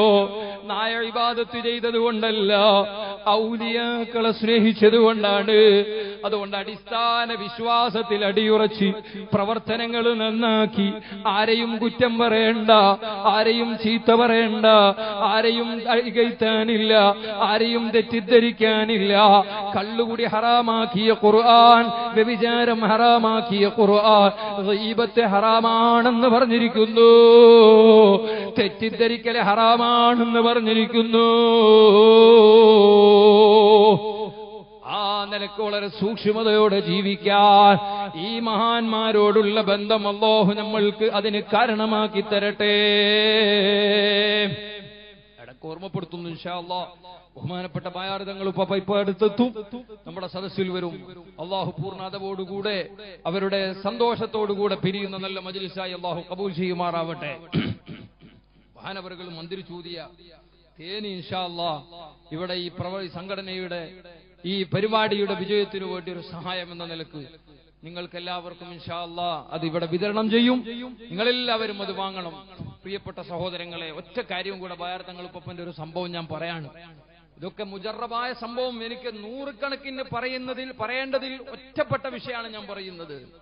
ഈ തേന് അന്തരിച്ച് വാങ്ങണം എന്ന് പറയുമ്പോ ഈ കഴിഞ്ഞ റബി ഉള്ളവലിന്റെ തൊട്ട് മുമ്പത്തെ റബി ഉള്ളവലിൽ വിശുദ്ധമായ മക്കത്തുൽ മുക്കറമ അള്ളാഹുവേ നീ ഞങ്ങളെ ജീവിതത്തിൽ പലതവണ ഹജ്ജ് ഉംറ സിയാറത്തിന് നീ തൗഫീഖ് നൽകണം റഹ്മാനെ.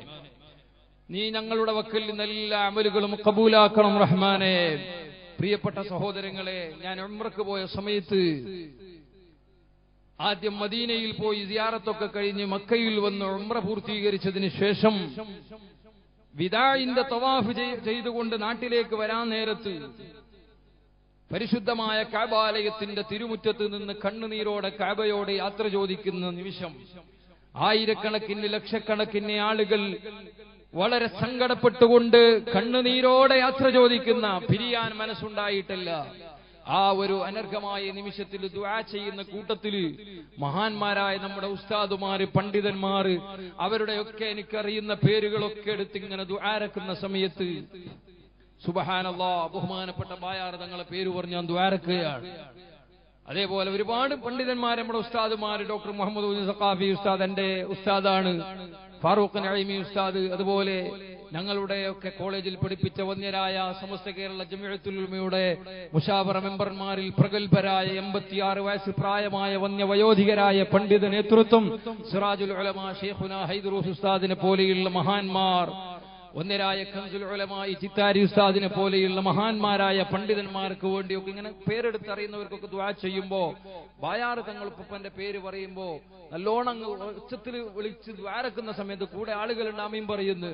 ആ കൂട്ടത്തിൽ ആമീനൊക്കെ പറഞ്ഞ് പൂർത്തീകരിച്ച് പുറത്തേക്ക് ഇറങ്ങി നിൽക്കുന്ന സമയത്ത് ഒരു സഹോദരി പൂർണ ഹിജാബിൽ നിൽക്കുന്ന ഒരു സഹോദരി എന്റെ കൂടെയുള്ള ആൾ തന്നെയാണ് ആ സഹോദരി എന്നെ പറഞ്ഞു തങ്ങ വായാറ് തങ്ങളെ ഉസ്താദിനെ അറിയോന്ന് ചോദിച്ചു.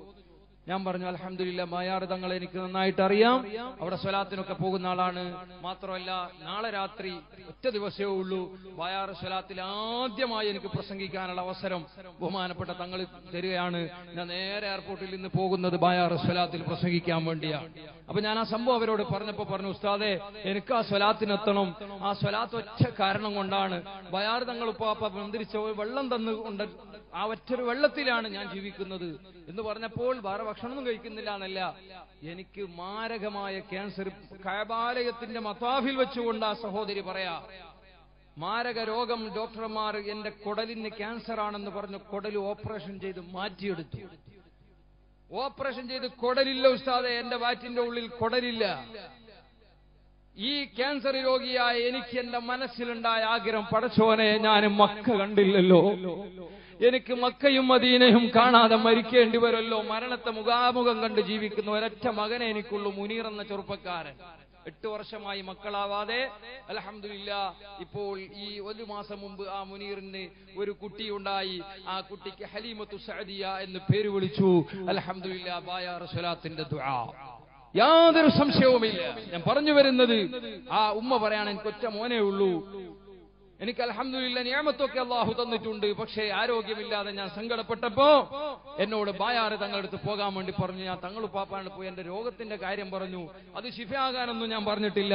തങ്ങളെ എനിക്കൊന്ന് ഉമ്രക്ക് പോകണം. പക്ഷെ കൊടലില്ലാതെ ഞാൻ ഈ ഗുളിയയിലും വെള്ളത്തിലും ഞാൻ കഴിഞ്ഞുകൂടുന്ന എനിക്ക് മരണം ഏത് സമയത്തും സംഭവിക്കുന്ന ഒരു വ്യക്തിയാണ് ഞാൻ. അതുകൊണ്ട് എനിക്ക് മക്കത്തെത്താതെ മരിക്കാൻ കഴിയില്ല. മദീനത്ത് റസൂലുള്ളാന്റെ ഹദറത്തിലെത്താതെ എനിക്ക് മരിക്കാൻ പറ്റൂല.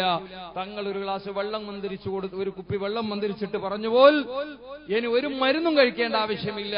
നിങ്ങൾ ഉമ്രക്കെത്തിക്കോളും ഇൻഷാല്ല നിങ്ങൾ മക്കയിലും മദീനയിലും എത്തും. ഇതാ സഹോദരി മത്താഫിൽ നിന്നുകൊണ്ട് പറഞ്ഞതാണ് നീലീശ്വരം ചായിയോത്ത് എന്ന് പേരുള്ള ആ സ്ഥലത്ത് ആയിഷ എന്ന് പറയുന്ന ആ സഹോദരി സുബഹാനല്ല നിങ്ങളോട് പറയണോ ഞാൻ അന്ന് ഈ സഹോദരിയൊക്കെ തലേ ദിവസം നെടുമ്പാശ്ശേരിയിൽ വന്ന് ഇറങ്ങുകയും ഞാൻ ബാംഗ്ലൂർ മംഗലാപുരം എയർപോർട്ടിൽ വന്ന് ഇറങ്ങുകയും ചെയ്ത് ഞാൻ ബയാറിലെത്താൻ വേണ്ടി വേഗം അങ്ങോട്ട് പോയതാണ്. സ്വലാത്ത് കഴിഞ്ഞ് ഞാൻ പുറത്തിറങ്ങി പ്രസംഗിച്ചു ഈ സംഭവമൊക്കെ ഞാൻ പറഞ്ഞ് പ്രസംഗിച്ചു. പുറത്തിറങ്ങുമ്പോ മുനീർ എന്ന് പറയുന്ന ചെറുപ്പക്കാരൻ ഉസ്താദ് ഉമ്മ വന്നിട്ടുണ്ട് സ്വലാത്തിൽ. ഈ സഹോദരിയും അലഹമില്ല മജ്ലിസിലെത്തിയിട്ടുണ്ട്. അങ്ങനെ ആ സഹോദരി ഇപ്പോഴും ഒരു ഗുളിക പോലും കഴിക്കുന്നില്ല. സന്തോഷത്തോടെ ജീവിക്കുന്നു. ബായാറ സ്വലാത്ത് മുടക്കാറുമില്ല. ഇന്ന് ഞാൻ ഇന്നലെ വരുന്ന സമയത്തും ആ സഹോദരി വിളിച്ച് ദ്വാരക്കാൻ വേണ്ടി പറഞ്ഞിട്ടുണ്ട്. അത് ചില്ലറയല്ല ചില്ലറ സംഭവമല്ല സഹോദരന്മാരെ. അതുകൊണ്ട് പാലക്കാട് ജില്ല മലപ്പുറം ജില്ല ഈ കേരളം കർണാടകയുടെ പ്രാന്തപ്രദേശം ബായാർ എന്ന് പറഞ്ഞാൽ കാട് മൃഗങ്ങൾ പിടിമൃഗം. ഞാൻ ഓതിപ്പടിച്ച സ്ഥല ചെറിയ മുത്താലിമായപ്പോ അന്ന് ബഹുമാനപ്പെട്ട താഹിറുൽ ഹദിൽ തങ്ങൾ ഫതഹുൽ മീൻ ഓതി തന്നു. ആ സമയത്തൊക്കെ അന്ന് ബായാർ തങ്ങളൊന്നും അങ്ങോട്ടില്ല. ആ സമയത്ത് അവിടെ പിടിമൃഗങ്ങളുടെ ശല്യമുള്ള നാട്.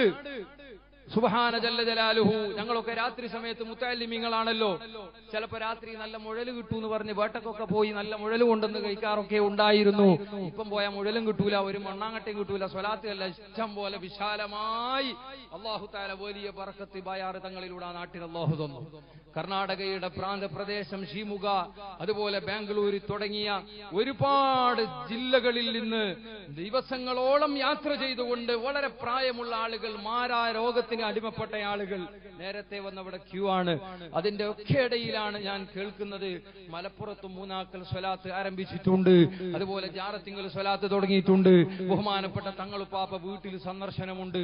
അങ്ങനെ ഇടക്കൊന്നും വീട്ടിലേക്ക് വന്ന് നോക്കുമ്പോ സുബഹാനല്ലാ ബായാറിനെക്കാളും അധികമായി ഇവിടെ അനുഭവപ്പെടുകയാണ്. അലഹമില്ല അള്ളാഹുവേ ഈ ഇജ്ജത്ത് നീ നിലനിർത്തി തരണം റഹ്മാനെ. ഒരു പക്ഷേ ഭാഗ്യമുള്ളവരാണെങ്കിൽ ഈ നാട്ടിൽ ഈ പരിപാടി ബഹുമാനപ്പെട്ട തങ്ങളുപ്പാപ്പയെ ഉപ്പാപ്പയെ കൊണ്ടിവിടെ തുടക്കം കുറിച്ച്. ഇൻഷാ ഈ നാടിന്റെ വെളിച്ചത്തിനു വേണ്ടി ഈ നാടിലുള്ള എല്ലാ പ്രതിസന്ധികളും നീങ്ങിക്കിട്ടാൻ ഇവിടെ അഹ്ലുസുന്നത്തി വൽ ജമാഅത്തിന്റെ വജ്രായുധമായി ഈ ആയുധം ഇവിടെ സ്ഥാപിക്കാൻ ഒന്നരായ സീതവറുകളുടെ കരങ്ങളാൽ അവിടത്തെ ഷറഫാക്കപ്പെട്ട വായിലൂടെ ഈ സ്വലാത്ത് ഇവിടെ നിലനിൽക്കുകയാണെങ്കിൽ ഈ പാലക്കാട് ജില്ലയുടെ ചരിത്രത്തിലെ ഏറ്റവും വലിയ ആത്മീയ മജിലിസ് നടക്കുന്ന ഒരു നാടായി ഈ നാടിനെ അള്ളാഹു ഉയർത്തിക്കൊണ്ടുവരിക തന്നെ ചെയ്യും. അള്ളാഹുവേ നീ അതിന് ഭാഗ്യം നൽകണം റഹ്മാനെ. കൂട്ടത്തിൽ ഒന്നുകൂടെ ഞാൻ പറയാം. എന്റെ സംഘടനാ പ്രവർത്തകരോട് പ്രിയപ്പെട്ട സഹോദരങ്ങളെ ആ തേന് നിങ്ങൾ എല്ലാരും വാങ്ങണം. ഇൻഷാ അല്ലാ അപ്പൊ നല്ല സ്വതക്ക. ഒരു ആയിരം നിങ്ങൾ കൊടുക്കുമെന്ന് ഞാൻ വിചാരിക്കുന്നു ഇൻഷാ അള്ളാ. നൂറ് റുപ്യയിൽ എന്തായാലും കുറയാതെ ആ തേൻ നിങ്ങൾ കൊടുത്താൽ ഇൻഷാ അള്ളാ ഈ പരിപാടിക്ക് ഒരുപാട് ചെലവുണ്ട്. വേറെ ഒരുപാട് പിരിവും കാര്യങ്ങളോടൊക്കെ നിങ്ങളോട് ചോദിക്കേണ്ടതുണ്ടാകാം. പക്ഷേ എനിക്കറിയില്ല. എന്നാലും ഇവിടെ നല്ല നല്ല പ്രവർത്തനങ്ങൾ ഉണ്ടാകാൻ വേണ്ടി ആവശ്യമായ സഹായ സഹകരണങ്ങൾ പ്രിയപ്പെട്ട സഹോദരങ്ങളെ നിങ്ങൾ ചെയ്യുമെന്ന് ഞാൻ ഉറച്ചു വിശ്വസിച്ചുകൊണ്ട് ഇൻഷാ അള്ളാ തങ്ങളുടെ പ്രതീക്ഷിക്കുന്ന ഈ മജ്ലിസിന് എല്ലാവിധ സന്തോഷങ്ങളും അറിയിക്കുകയാണ്. എന്റെ സംഘടനാ പ്രവർത്തകരോട് ഞാൻ പറയുന്നു അള്ളാഹു നമുക്ക് ചെയ്തു തന്ന വലിയ അനുഗ്രഹം. എന്റെ കൂടെ വന്ന ലത്തീഫ് ജൗഹരി എന്ന് പറഞ്ഞൊരു ജൗഹരിയുണ്ട്. അദ്ദേഹം ഞാനും കാദിസിയിൽ ഒന്നിച്ച് പഠിച്ച ആളാ. ആ മനുഷ്യൻ ഇപ്പൊ ദമാമിലാണ്. ഇപ്പൊ ലീവിന് വന്നപ്പോ ഞാൻ ഇങ്ങോട്ട് വരുമ്പോ എന്റെ കൂടെ വന്നതാണ് ഞാൻ ഓർക്കുകയാണ് പാലക്കാട് ജില്ലയിലെ നമ്മുടെ ഉദ്ഘാടനം നട ചെയ്ത് പ്രസംഗിച്ച ഉസ്താദ് ബഹുമാനപ്പെട്ട അലി ഉസ്താദ് എന്നല്ലേ പേര്? ഉമർ മദനി ഉസ്താദ്. അതുപോലെ നമ്മുടെ ഈ ഉസ്താദുമാരൊക്കെ ഇവിടെയുള്ള സുന്നത്യമാത്തിന്റെ നേതൃത്വത്തിലുള്ള പണ്ഡിതന്മാർ. ഞാൻ അഭിമാനത്തോടെ പറയുന്നു ഞാൻ പാലക്കാട് ജില്ലയിലെ കൊപ്പത്ത് വെച്ച് ആ സ്ഥാപനത്തിൽ വെച്ച് നടന്ന എസ് എസ് എഫിന്റെ സാഹിത്യോത്സവിൽ ഒരു പ്രതിഭയായി പ്രസംഗിച്ച ഒരു വ്യക്തിയാണ്. അലഹമില്ല അന്ന് മാളിയക്കൽ ഉസ്താദ് സംഘടനയുടെ നേതൃത്വത്തിലുള്ള സമയം ഹാദിസയിൽ നിന്ന് ചുളിവിൽ വന്ന് കേരളക്കാരനായി മത്സരിച്ചതാണ്. അലഹമില്ല പക്ഷേ അന്ന് ഖാദിസിയയുടെ യൂണിറ്റിൽ പ്രവർത്തിച്ചുകൊണ്ട് കൊല്ലം ജില്ലക്കാരനായി വന്ന് മത്സരിച്ചു. പ്രസംഗിക്കുമ്പോൾ മാളിയേക്കാൽ ഉസ്താദിന്റെ വന്നത്തെ ഒരു പ്രസംഗത്തിൽ എന്റെ മനസ്സ് എപ്പോഴും കേട്ടുകൊണ്ടിരിക്കുന്ന ഒരു ശബ്ദം. ഓ മക്കളെ ഞാൻ സാഹിത്യോത്സവിൽ പ്രസംഗിച്ച് ഈ സംഘടനയുടെ നേതാവായതാണ്. പ്രഭാഷകനായതാണ് മാളിയക്കൽ ഉസ്താദ് എന്ന് പറയുന്നത് അഖിലുസുന്നത്തി വൽ ജമാഅത്തിന്റെ പ്രവർത്തന രംഗത്തുള്ള ഒരു വലിയ വജ്രായുധമാണെന്ന് നമ്മൾക്ക് എല്ലാവർക്കും അറിയാം. അള്ളാഹു അവർക്കൊക്കെ ആഫിയത്ത് കൊടുക്കട്ടെ. വലിയ ഹിമ്മത്ത് അള്ളാഹു നൽകട്ടെ.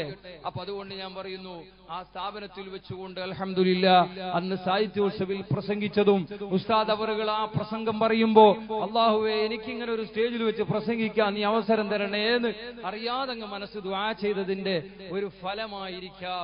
പാലക്കാട് ജില്ലയിലെ നമ്മുടെ ഉസ്താദുമാരുടെ ഒക്കെ മുമ്പിൽ വയാറ തങ്ങൾ ഉപ്പാപ്പന്റെ ആ ഒരു മജിരിസിൽ എനിക്ക് സംസാരിക്കാൻ അവസരം കിട്ടിയത് ഈ സംഘടനാ സംവിധാനത്തിന്റെ ബറക്കത്ത് തന്നെയാണ്.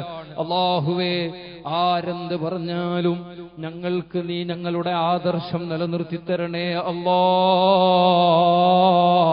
ഞങ്ങൾക്കിത് ഫഹർ പറയുകയല്ല. ഞങ്ങളെ ഹബീബ് മുഹമ്മദ് റസൂലുള്ളാ സല്ലല്ലാഹു അലൈഹി വസല്ലമ പട്ടിണി കിടന്ന് അതാ പോറ്റി വളർത്തിയ ദീന.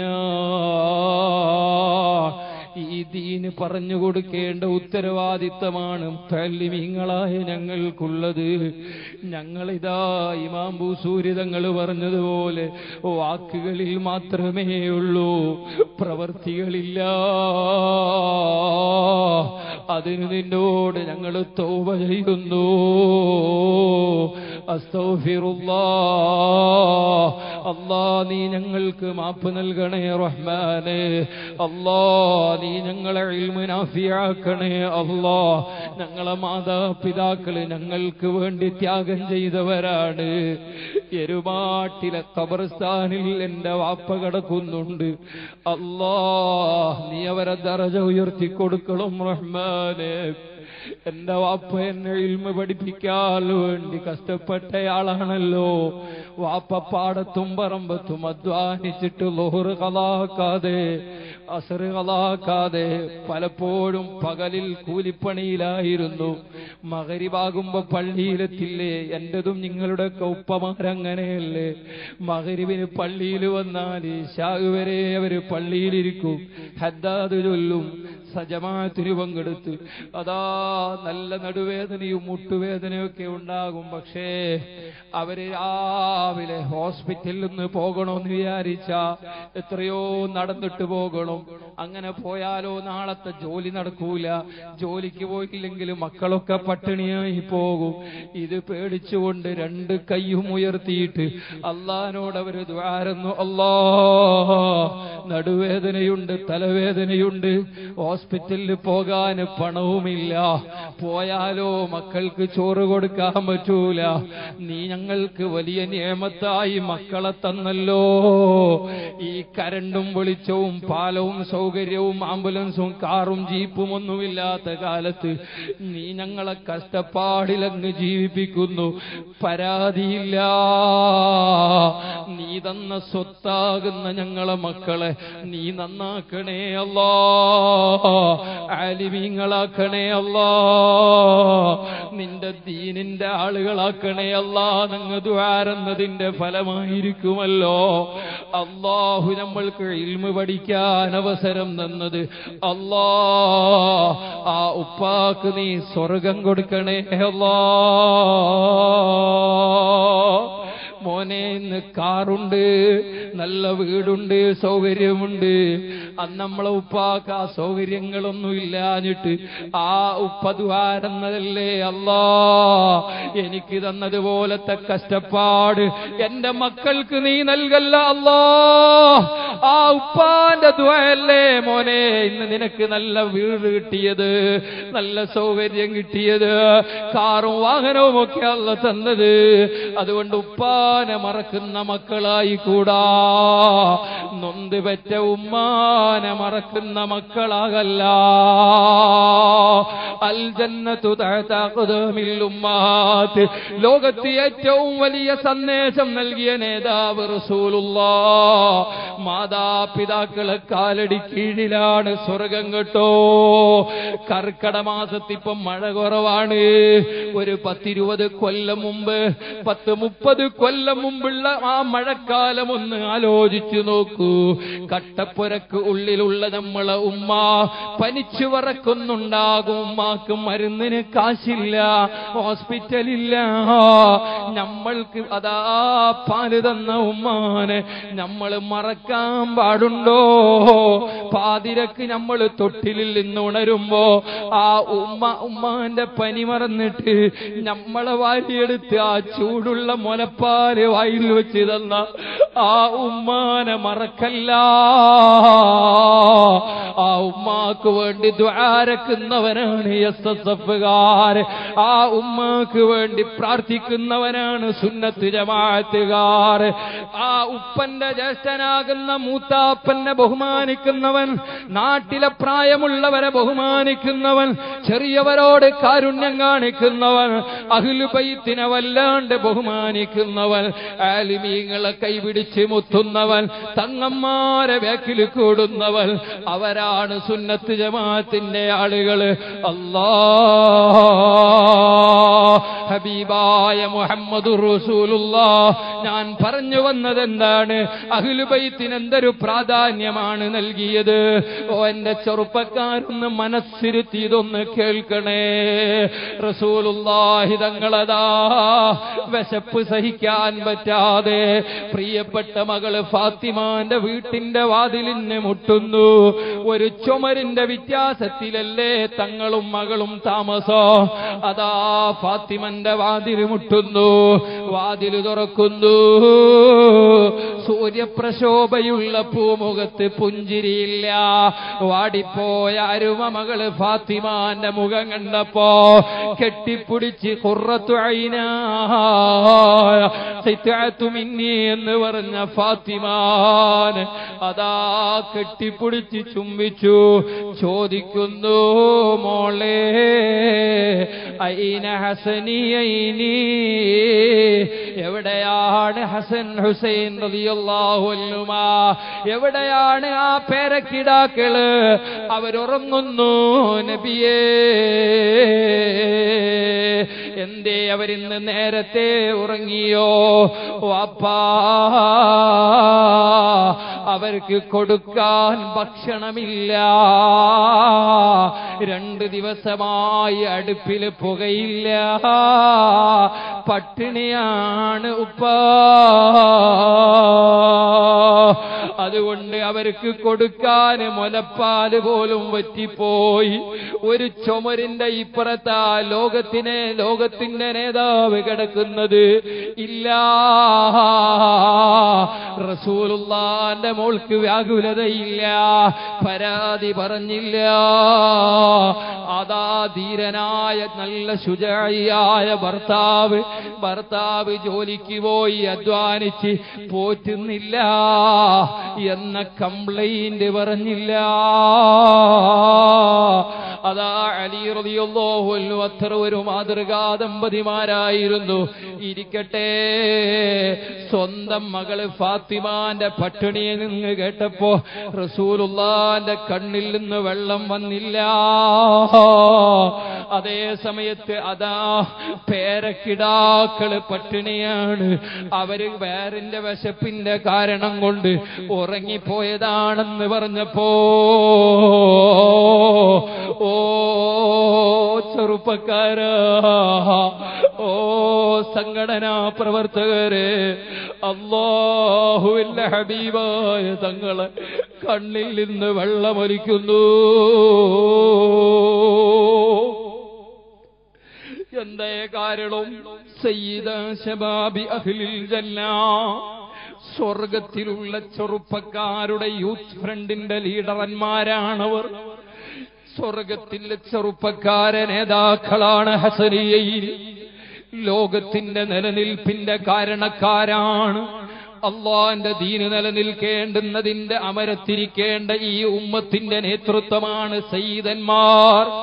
തങ്ങന്മാര് കേട്ടോ. ഇതറിഞ്ഞ ഹബീബായ മുഹമ്മദ് റസൂലുല്ലാഹി സ്വല്ലല്ലാഹു അലൈഹി വസല്ലമ ഉറങ്ങിക്കിടക്കുന്ന കരളിന്റെ കഷ്ണങ്ങളാകുന്ന പേരക്കിടാക്കളെ അരികിൽ പോയി ആ ഉറങ്ങിക്കിടക്കുന്ന ഹസൻ ഹുസൈൻ അൻഹുമയുടെ ചുണ്ടിന്റെ അരികിൽ പോയി. ആ ചുണ്ടുമല്ലേ വിടർത്തി? ഹബീബായ തങ്ങളെ നാവിങ്ങനെ വെച്ചു കൊടുക്കുന്നു. ആ നാവിൽ നിന്ന് അല്ലോ പട്ടിണി കൊണ്ട് കിടന്നുറങ്ങിയ ഹസനിയയിലിറതിയല്ലോഹല്ലുവ സുബാനല്ലാ ചപ്പി ചപ്പി കുടിക്കുന്നു. അവരോർക്ക് ബുദ്ധിമുട്ടാകാത്ത രൂപത്തിൽ ആ നാവിൽ നിന്ന് മനോഹരമായ പാനീയങ്ങൾ മനോഹരമായ മുലപ്പാലിനെ വെല്ലുന്ന വലിയ പോഷകാഹാരങ്ങൾ കിടങ്ങിയ മോചിതത്തിന്റെ ഭക്ഷണം കിട്ടുന്നു. എന്നിട്ടും ഹബീബായ തങ്ങൾക്ക് സമാധാനമില്ല. ഉടനെ ഫാത്തിമായോട് ചോദിച്ചു ഒന്നുമില്ലേ മോളെ? ഇല്ല വാപ്പ രണ്ടു ദിവസമായി പട്ടിണിയാണ്. ബേജാറാകണ്ട മോളെ വാപ്പ മൂന്ന് ദിവസമായി പട്ടിണിയത് പർവതം കാണിച്ച് ചോദിച്ചു സ്വർണമാകണോ നബിയേ? വേണ്ട. അത്രയും വലിയ അമ്മ സ്നേഹിച്ച നേതാവ് പറയുന്നു. മോൾ ബേജാറാകണ്ട. ഞാൻ മൂന്ന് ദിവസമായി പട്ടിണിയാണ്. പക്ഷേ ആര് പട്ടിണി കിടന്നാലും എന്റെ പേരക്കിടാക്കൾ പട്ടിണിയാകാൻ പാടില്ല. لقد كان لكم في رسول الله أسوة حسنة തങ്ങന്മാരെ വല്ലാണ്ട് സ്നേഹിച്ചു പോയ നേതാ എളാപ്പാബു ത്വാലിബ് സ്വർഗത്തിലാകാൻ വേണ്ടി കൊതിച്ച് കരഞ്ഞുപോയി അവിടെ നിന്ന് തടവിക്കൊടുത്തില്ലേ ആ സമയത്തല്ലേ കാലിന്റെ അരികിലെത്തുമ്പോ കൈതട്ടപ്പെടുകയാണ് അതേ അത്രയും ഈ കുടുംബത്തെ സ്നേഹിക്കാൻ പഠിപ്പിച്ചനേതോ? വലിയ സ്ഥാനം കൽപ്പിച്ചനേതോ? അടുത്ത നിമിഷം തീരുമാനമെടുക്കുന്നു. ഒരു മാതൃകാപരമായ തീരുമാനമാണ്. മദീനായുടെ ചക്രവർത്തിയ ഉടനെ അവിടുന്ന് ഇറങ്ങി അങ്ങകലെ നടന്ന് നടന്ന് നടന്ന് മദീനയുടെ താഴ്വരയിലൂടെ സഞ്ചരിക്കുന്നു. കുറെ അങ്ങ് നടന്നു പോകുന്നു. ഒരുപാട് വിഷമമുണ്ട് ക്ഷീണമുണ്ട്. തങ്ങന്മാര് പട്ടിണിയാണെന്നറിയുമ്പോ ബേജാറായി പോയി ഉടനെ നടന്ന് നീങ്ങുന്നു. ഒരുപാട് നടന്നു. കുറെ അങ്ങിലെത്തുമ്പോ നല്ലൊരു ഈത്തപ്പഴത്തോട്ടം കാണുന്നു. ആ തോട്ടത്തിലൊരു പാറാവുകാരന്റെ മുമ്പിൽ പോയി ചോദിക്കുന്നു ഈ തോട്ടത്തിന്റെ മുതലാളി ആരാ? അതൊരാറാബിയാണ് അദ്ദേഹം പറഞ്ഞു ഇതിന്റെ മുതലാളിയതാ പുറത്താണ്. എന്താണ് നിങ്ങൾക്ക് വേണ്ടത്? അയാൾ പറഞ്ഞു അതേ അയാളോട് പറയാണ് ആരംഭപ്പൂവായ മുത്തുനബി സല്ലല്ലാഹു അലൈഹി വസല്ലമ എനിക്കിതിലൊരു ചെറിയ ജോലി തരുമോ?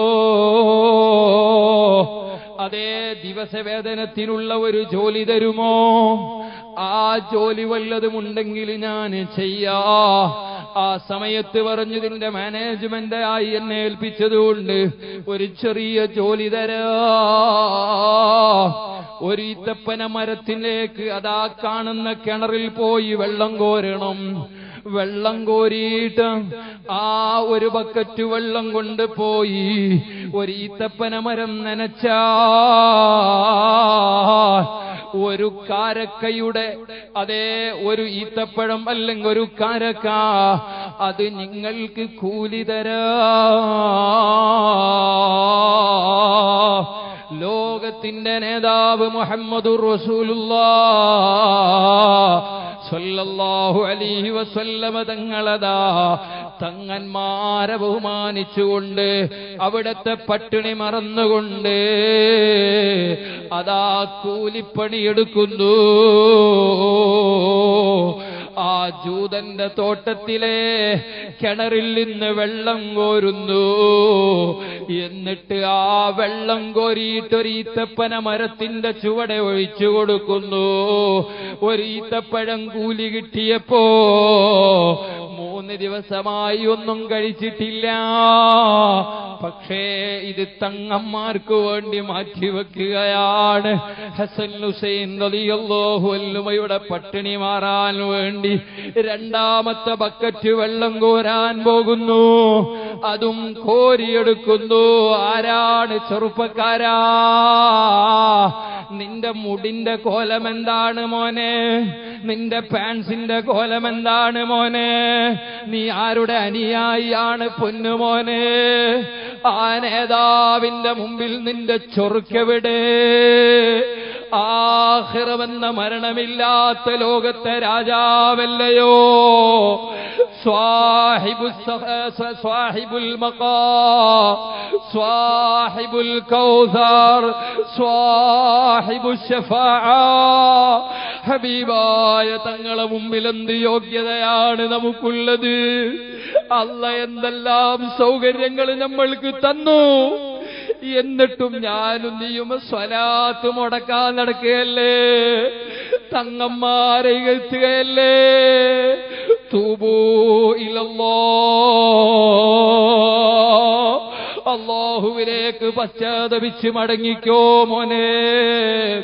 ഹബീബായ തങ്ങളോട് കാണിക്കുന്ന ഈ കാലഘട്ടത്തിലെ ഏറ്റവും വലിയ സ്നേഹത്തിന്റെ പ്രഖ്യാപനം അത് സ്വലാത്ത് തന്നെ.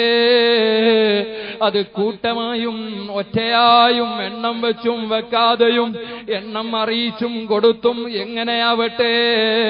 ആഴ്ചയിൽ മാസത്തിൽ ദിവസത്തിൽ വ്യത്യാസമില്ലാതെ സൊല്ലൂ അലൈഹി വസല്ലിമോ തസ്ലീമാ. ആ നേതാവിന്റെ പേരിൽ സ്വലാത്ത് സലാമു ചൊല്ലിക്കോ. അതല്ലാതെ നമ്മുടെ രോഗത്തിന് പരിഹാരമില്ല. കടത്തിന് പരിഹാരമില്ല. നമ്മളെ ഹമ്മിന് പരിഹാരമില്ല. എല്ലാത്തിനും പരിഹാരം ഹബീബായ തങ്ങളെ സ്വലാത്ത് തന്നെയാണ്. ഇൻഷാ അല്ലാ ഈ മജ്ലിസ് ഇവിടെ തുടരട്ടെ. പ്രഗത്ഭരായ ആലിമീങ്ങളുടെ പ്രൗഢമായ സ്വലാത്തിനെ കുറിച്ചുള്ള പരമ്പര നടക്കട്ടെ. ഹബീബായ തങ്ങളെ കുറിച്ചുള്ള മധു നമ്മുടെ നാട്ടിൽ അള്ളാഹു വലിയ പറക്കത്ത് ചെയ്തു തരട്ടെ. ആ ജൂതന്റെ കിണറിൽ നിന്ന് വെള്ളം കോരുന്നയാളാരാണ്? ലോകത്തിന്റെ നേതാവല്ലയോ? ആ ലോകത്തിന്റെ നേതാവിന്റെ കയ്യോ? ആ കൈയിനെ കുറിച്ചല്ലേ ഇമാം മുസ്ലിം റഹ്മുള്ള റിപ്പോർട്ട് ചെയ്യുന്ന?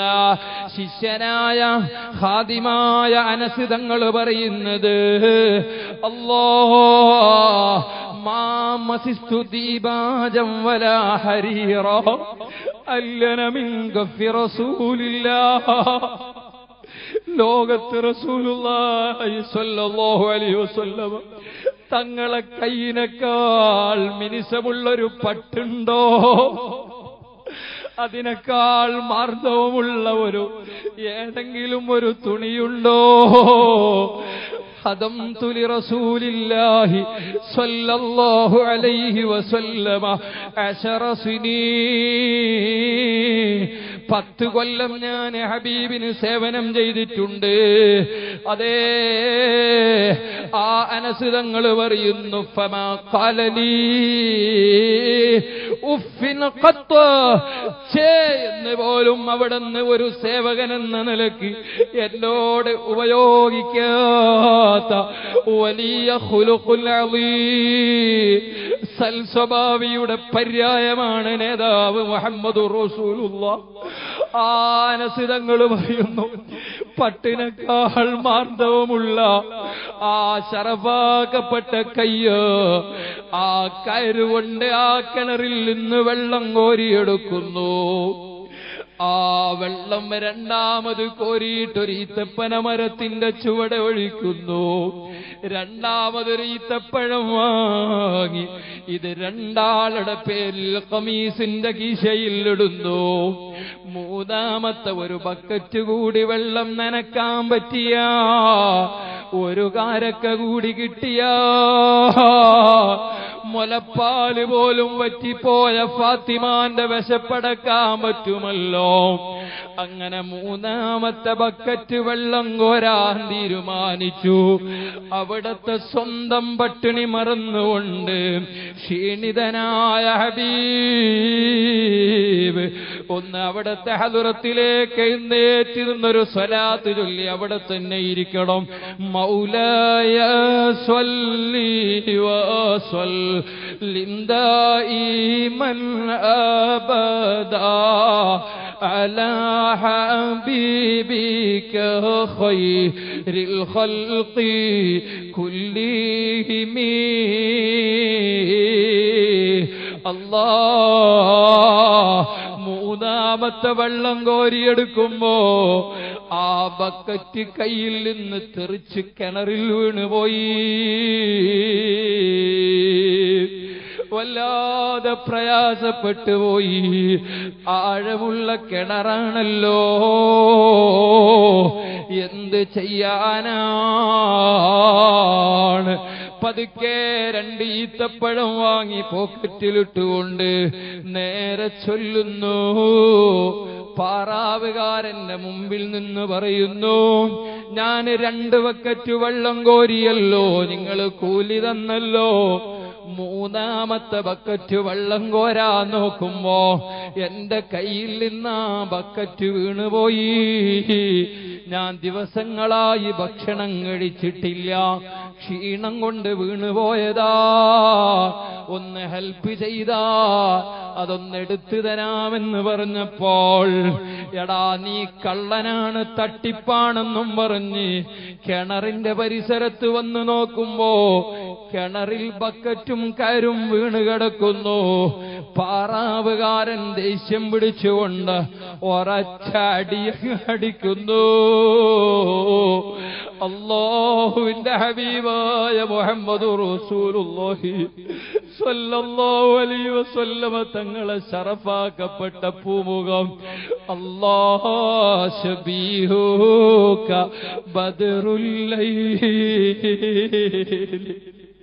بل أنت أنور. ആ മുഖത്തെക്കുറിച്ച് ഇമാം തിർമതി തങ്ങളെ ശമായിരിൽ പറഞ്ഞത് അത് ബദറുൽ കമാല ഇതാ തൊലാത്ത് അതേ ഒരു സ്ഥലത്ത് നബിതങ്ങൾ പ്രത്യക്ഷപ്പെട്ട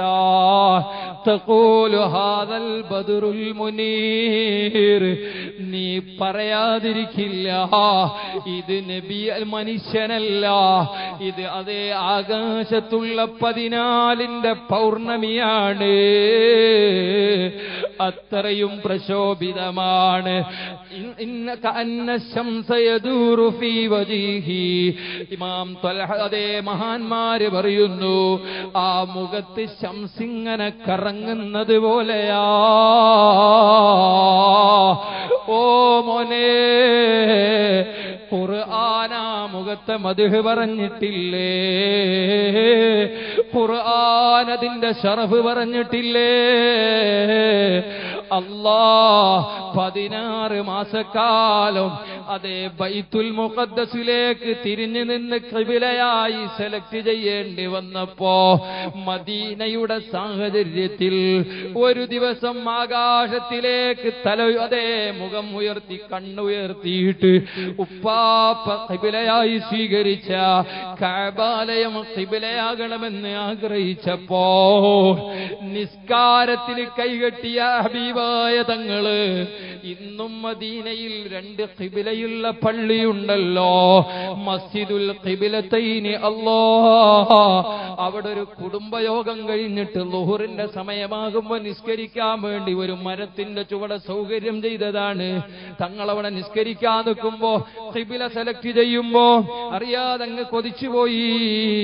അള്ളാ പരിശുദ്ധമായ ഹറമിലേക്ക് തന്നെ കിബിലയായി കാബ കിട്ടണമെന്ന് ആഗ്രഹിച്ച് ആകാശത്തിലേക്ക് ഇങ്ങനെ കണ്ണുയർത്തിയപ്പോ അള്ളാഹു ആ മദ്ഹ് ചെയ്തുകൊണ്ട് പറഞ്ഞത് നബിയേ قد نرى تقلب وجهك في السماء فلنولينك قبلة ترضاها فول وجهك شطر المسجد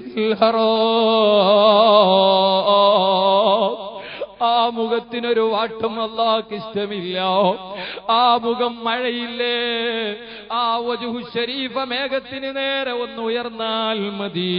അതുകൊണ്ടല്ലേ ആയിഷാ ബീബി പറയുന്നു മഴയില്ലാതെ ആളുകൾ പരാതി പറഞ്ഞപ്പോ ഒഫാത്തായി കിടക്കുന്ന തങ്ങളുടെ കുബ്ബയുടെ മുകളിൽ അവിടത്തെ ഷറഫാക്കപ്പെട്ട മുഖത്തിന് നേരെ ഖിബിലയിലേക്ക് തിരിച്ചിട്ടാണല്ലോ മുഖം കബറിൽ വെക്കുക. അതുകൊണ്ട് കുബ്ബക്ക് നേരെ മുകളിലല്ല. പടിഞ്ഞാറ് ഭാഗത്തൊരു ദ്വരമുണ്ടാക്കാൻ പറഞ്ഞു. ഇപ്പോഴും പച്ച കുബ്ബയുടെ സൈഡിൽ ഒരു ദ്വാരമുണ്ട്. ആ ദ്വാരം ഹബീബായ തങ്ങളെ വജുഹിന് നേരെ ആകാശമാകാനാണ്. ഇല്ലെങ്കിൽ ലോകത്ത് മഴയുണ്ടാകൂല അതിമാം ഭൂസൂരി റതിയുള്ളോഹുല്ലു രേഖപ്പെടുത്തിയതുമാണല്ലോ.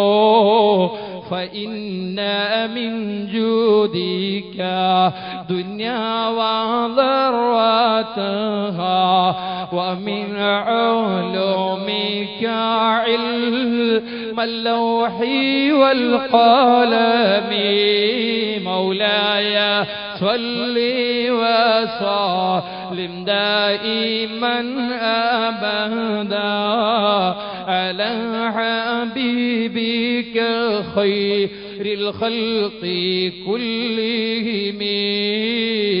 آه، وجه الشريف الله. ആ വജുഹിനെ കുറിച്ച് പറഞ്ഞാലുണ്ടോ തീരുക അള്ളാന്റെ ഖുർആന് പ്രശംസിച്ച് പറഞ്ഞ വജുഹാണല്ലോ. അതെ ആ വജുഹ് കൊണ്ടല്ലേ മഴ ലഭിക്കുന്നത്? ഈ ലോകത്ത് ഇമാം ഭൂസൂരിതങ്ങളെ ഭാഷയാ അല്ലോ ഈ ലോകത്ത് മഴ ലഭിക്കണോ? ഓ മനുഷ്യ നിനക്കെന്ത് അധികാരം ലഭിക്കണോ? നിനക്ക് രോഗശമനം വേണോ? നിനക്ക് അതാ എന്ത് ആവശ്യങ്ങളും വേണോ? അത് മദീനയുടെ ഔദാര്യമാണ്. റസൂലുള്ളാന്റെ ജൂത. ഈ ലോകത്താര് പ്രസംഗിക്കുന്നുണ്ടോ? ആര് ഇൽമ പ്രചാരണം നടത്തുന്നുണ്ടോ? ഏത് ഇസ്ലാമിക് അന്താരാഷ്ട്ര സമ്മേളനത്തിൽ ആര് പ്രസംഗിക്കുന്നുണ്ടോ? ആര് പണ്ഡിതന്മാരായ ഇൽമ പ്രചരിപ്പിക്കുന്നുണ്ടോ ആര് സ്ഥാപനം നടത്തുന്നുണ്ടോ? ആരിവിടെ കാലിയാകുന്നുണ്ടോ എല്ലാവർക്കും വേണ്ടത് അയിൽമാണ് ആ ഇൽമിന്റെ സ്രോതസ് മദീന. ഈമാനിന്റെ സ്രോതസ് മദീന. ദുനിയാവിലെ സർവ അനുഗ്രഹങ്ങളുടെയും സ്രോതസ് മദീന. എന്ത് ബുദ്ധിമുട്ടുണ്ടോ? അതിനും അതേ അത് തീരാ ഹബീബായ മുഹമ്മദ് റസൂലുള്ളാഹു അലൈഹി വസല്ലമ തങ്ങളല്ലാതെ പരിഹാരമില്ല. ആ തങ്ങളെ വജീനല്ലേ മോനെ? അതാ ആ പറാവുകാരൻ അടിച്ചത് എന്തിനാണ് തങ്ങളെ അടികൊണ്ടത്? ഞാൻ ആ ചരിത്രം ദീർഘിപ്പിക്കുന്നില്ല. അടിച്ച ആൾ പിന്നീട് മാപ്പ് പറയുകയും ആ കൈപ്പത്തി അങ്ങ് മുറിച്ചു മാറ്റപ്പെടുകയും മുറിച്ചു മാറ്റപ്പെട്ട കൈപ്പത്തിയുമായി ഹബീബിന്റെ ചാരത്ത് വരികയും മാപ്പ് കൊടുക്കുകയും ആ കൈപ്പത്തി പൂർവശ പൂർവസ്ഥിതിയിലാക്കി കൊടുക്കുകയും ചെയ്തു എന്നാണ് ഇമാമിയങ്ങൾ രേഖപ്പെടുത്തിയിട്ടുള്ളത്. അയാൾ ഷഹാദത്ത് കലിമജല്ലി മുസ്ലിമായി അതിനൊരു സബബായിട്ടാണ് അദ്ദേഹത്തിന്റെ അടിയെ വ്യാഖ്യാനിക്കേണ്ടത് എന്ന് പണ്ഡിതന്മാര് വിശദീകരണം നൽകുന്നു. ഓ എന്റെ ചെറുപ്പക്കാരെ ആകയാ തങ്ങന്മാരെ സ്നേഹിച്ച നേതാവാണ് മുഹമ്മദ് റസൂലുള്ള അവിടത്തെ സ്നേഹിക്കാനും ബഹുമാനിക്കാനും പഠിപ്പിച്ച നേതാവാണ് മുഹമ്മദ് റസൂലുള്ള അവിടത്തെ സ്നേഹിക്കാതെ അഖിൽ ബൈത്തിനെ പരിഗണിക്കാതെ ഹൗദുൽ കൗദർ കിട്ടൂല. ആ പരിശുദ്ധമായ വജുഹു ഷരീഫ അത് കാണണോ വജുഹു കൽവല്ലാഹു ഹുജ്ജതുനാ യൗമ യഅതി الناس بالحجج ومريضا أنت زائره قد أتاه الله بالفرج رسول الله കൊണ്ട് ശിഫയാകാത്ത രോഗങ്ങളില്ല ഹബീബായ തങ്ങളെ കൊണ്ട് ആ വജുഹു ഷരീഫയാണ് നാളെ പാരത്രീക ലോകത്ത് നമ്മുടെ ഹുജ്ജത്ത് കേട്ടോ. അതിനൊരു സബബാണ് അഹിലുബൈത്തിനെ വല്ലാതെ സ്നേഹിച്ചോ. അത് നഷ്ടമില്ലാത്ത കച്ചവടമാ. അല്ലാ നീ ഞങ്ങൾക്ക് ഭാഗ്യം തരണം റഹ്മാനെ. അങ്ങും ഇങ്ങും നിൽക്കുന്ന ആളുകളൊക്കെ സദസ്സിലേക്ക് വന്നോ. വന്നരായ സീതവറുകൾ എത്താറായിട്ടുണ്ട്. അലഹമില്ല ഒരൽപ്പസമയത്തിനകം ഈ മജിലിസിലെത്തുമല്ലോ. ഒരുപാട് ആളുകൾ സന്ദർശകരെ നോക്കിയിട്ട് പകലൊന്ന് വിശ്രമിക്കാൻ പോലും പറ്റാതെ പ്രയാസപ്പെട്ട് മഹാനവറുകൾ യാത്ര ചെയ്ത് ക്ഷീണിച്ചു വരികയാണല്ലോ. അല്ലോ നീ അഫിയത്ത് നൽകണേ. അല്ലോ ആയിരക്കണക്കിന് രോഗികൾക്കുള്ള ആശാകേന്ദ്രമാണല്ലോ. ഒരുപാട് പ്രതിസന്ധി ഘട്ടത്തിൽ ഈ ഉമ്മത്തിന് സമാധാനത്തിന്റെ വഴി കാണാൻ വേണ്ടി ഹബീബിന്റെ രക്തം സിരകളിലോടുന്ന അഖിലുബൈത്തിൽപ്പെട്ട പ്രഗത്ഭരാണല്ലോ. അള്ളാഹുവെ അവരെ എങ്ങനെ സ്നേഹിക്കണമെന്ന് ഞങ്ങൾക്കറിയില്ല. നീ ഞങ്ങൾക്ക് അതവ് തരണേ അല്ലാ ലോകത്ത് അഖിലുബൈത്തിൽ പ്രതീക്ഷയർപ്പിച്ചവരാണ്. ലോകത്ത് കഴിഞ്ഞുപോയ ഇമാമിങ്ങൾ മുഴുവനോ ബഹുമാനപ്പെട്ട ഇമാമുല്ല ഇമ്മാ. ഇമാമുന അൻഹു പറഞ്ഞതെന്താണ്? ആയിരക്കണക്കിന് കിതാബ് എഴുതിയ ക്രെഡിറ്റ് എനിക്കില്ല. അതേ ആറ് വയസ്സിൽ ഇൽമിലേക്ക് കടന്നിട്ട് ഏഴാം വയസ്സിൽ ഖുർആൻ മുഴുവനും ഹിഫ്ളായിട്ട് പത്ത് വയസ്സിൽ ഉസ്താദിന്റെ കിതാബ് അൽ മുവത്ത മുഴുവനും ഹിഫ്ളാക്കിയിട്ട് പതിനേഴാമത്തെ പതിനാറാമത്തെ വയസ്സിൽ രണ്ട് ഹറമിന്റെയും കാതിയായ മഹാനാണ്. അങ്ങനെ വലിയ സ്ഥാനമുള്ള മഹാനാണ്. ആയിരക്കണക്കിന് ശിഷ്യന്മാരുള്ള മഹാനാണ്. ഇമാമുന ഇമാമുൻ ഇമാമുഹു ഇമാമുൻ തിൽമീദുഹു ഇമാം അയ്യോ ഇമാമിൻ കൽ ഇമാം ആ ഇമാമുന ഷാഫി തങ്ങൾ അതാ മിനായിന്റെ താഴ്വരയിൽ വെച്ചുകൊണ്ട് പാടിയതെന്താണ് അലുനബീതരീയത്തി وهموا إليه وسيلتي أرجو بها يعطى غدا بيد اليمين صحيفتي എനിക്ക് കിതാബ് വലങ്കയിൽ കിട്ടാനുള്ള സബബ് അഹ്ലു ബൈത്താണ് കുലോ തക്ബീർ കുലോ തക്ബീർ കുലോ തക്ബീർ അൽഹംദുലില്ലാ അൽഹംദുലില്ലാ ഒന്നരായ സയ്യിദുന തങ്ങൾ ഉസ്താദ് അവർകൾ കടന്നു വരുന്നു طلع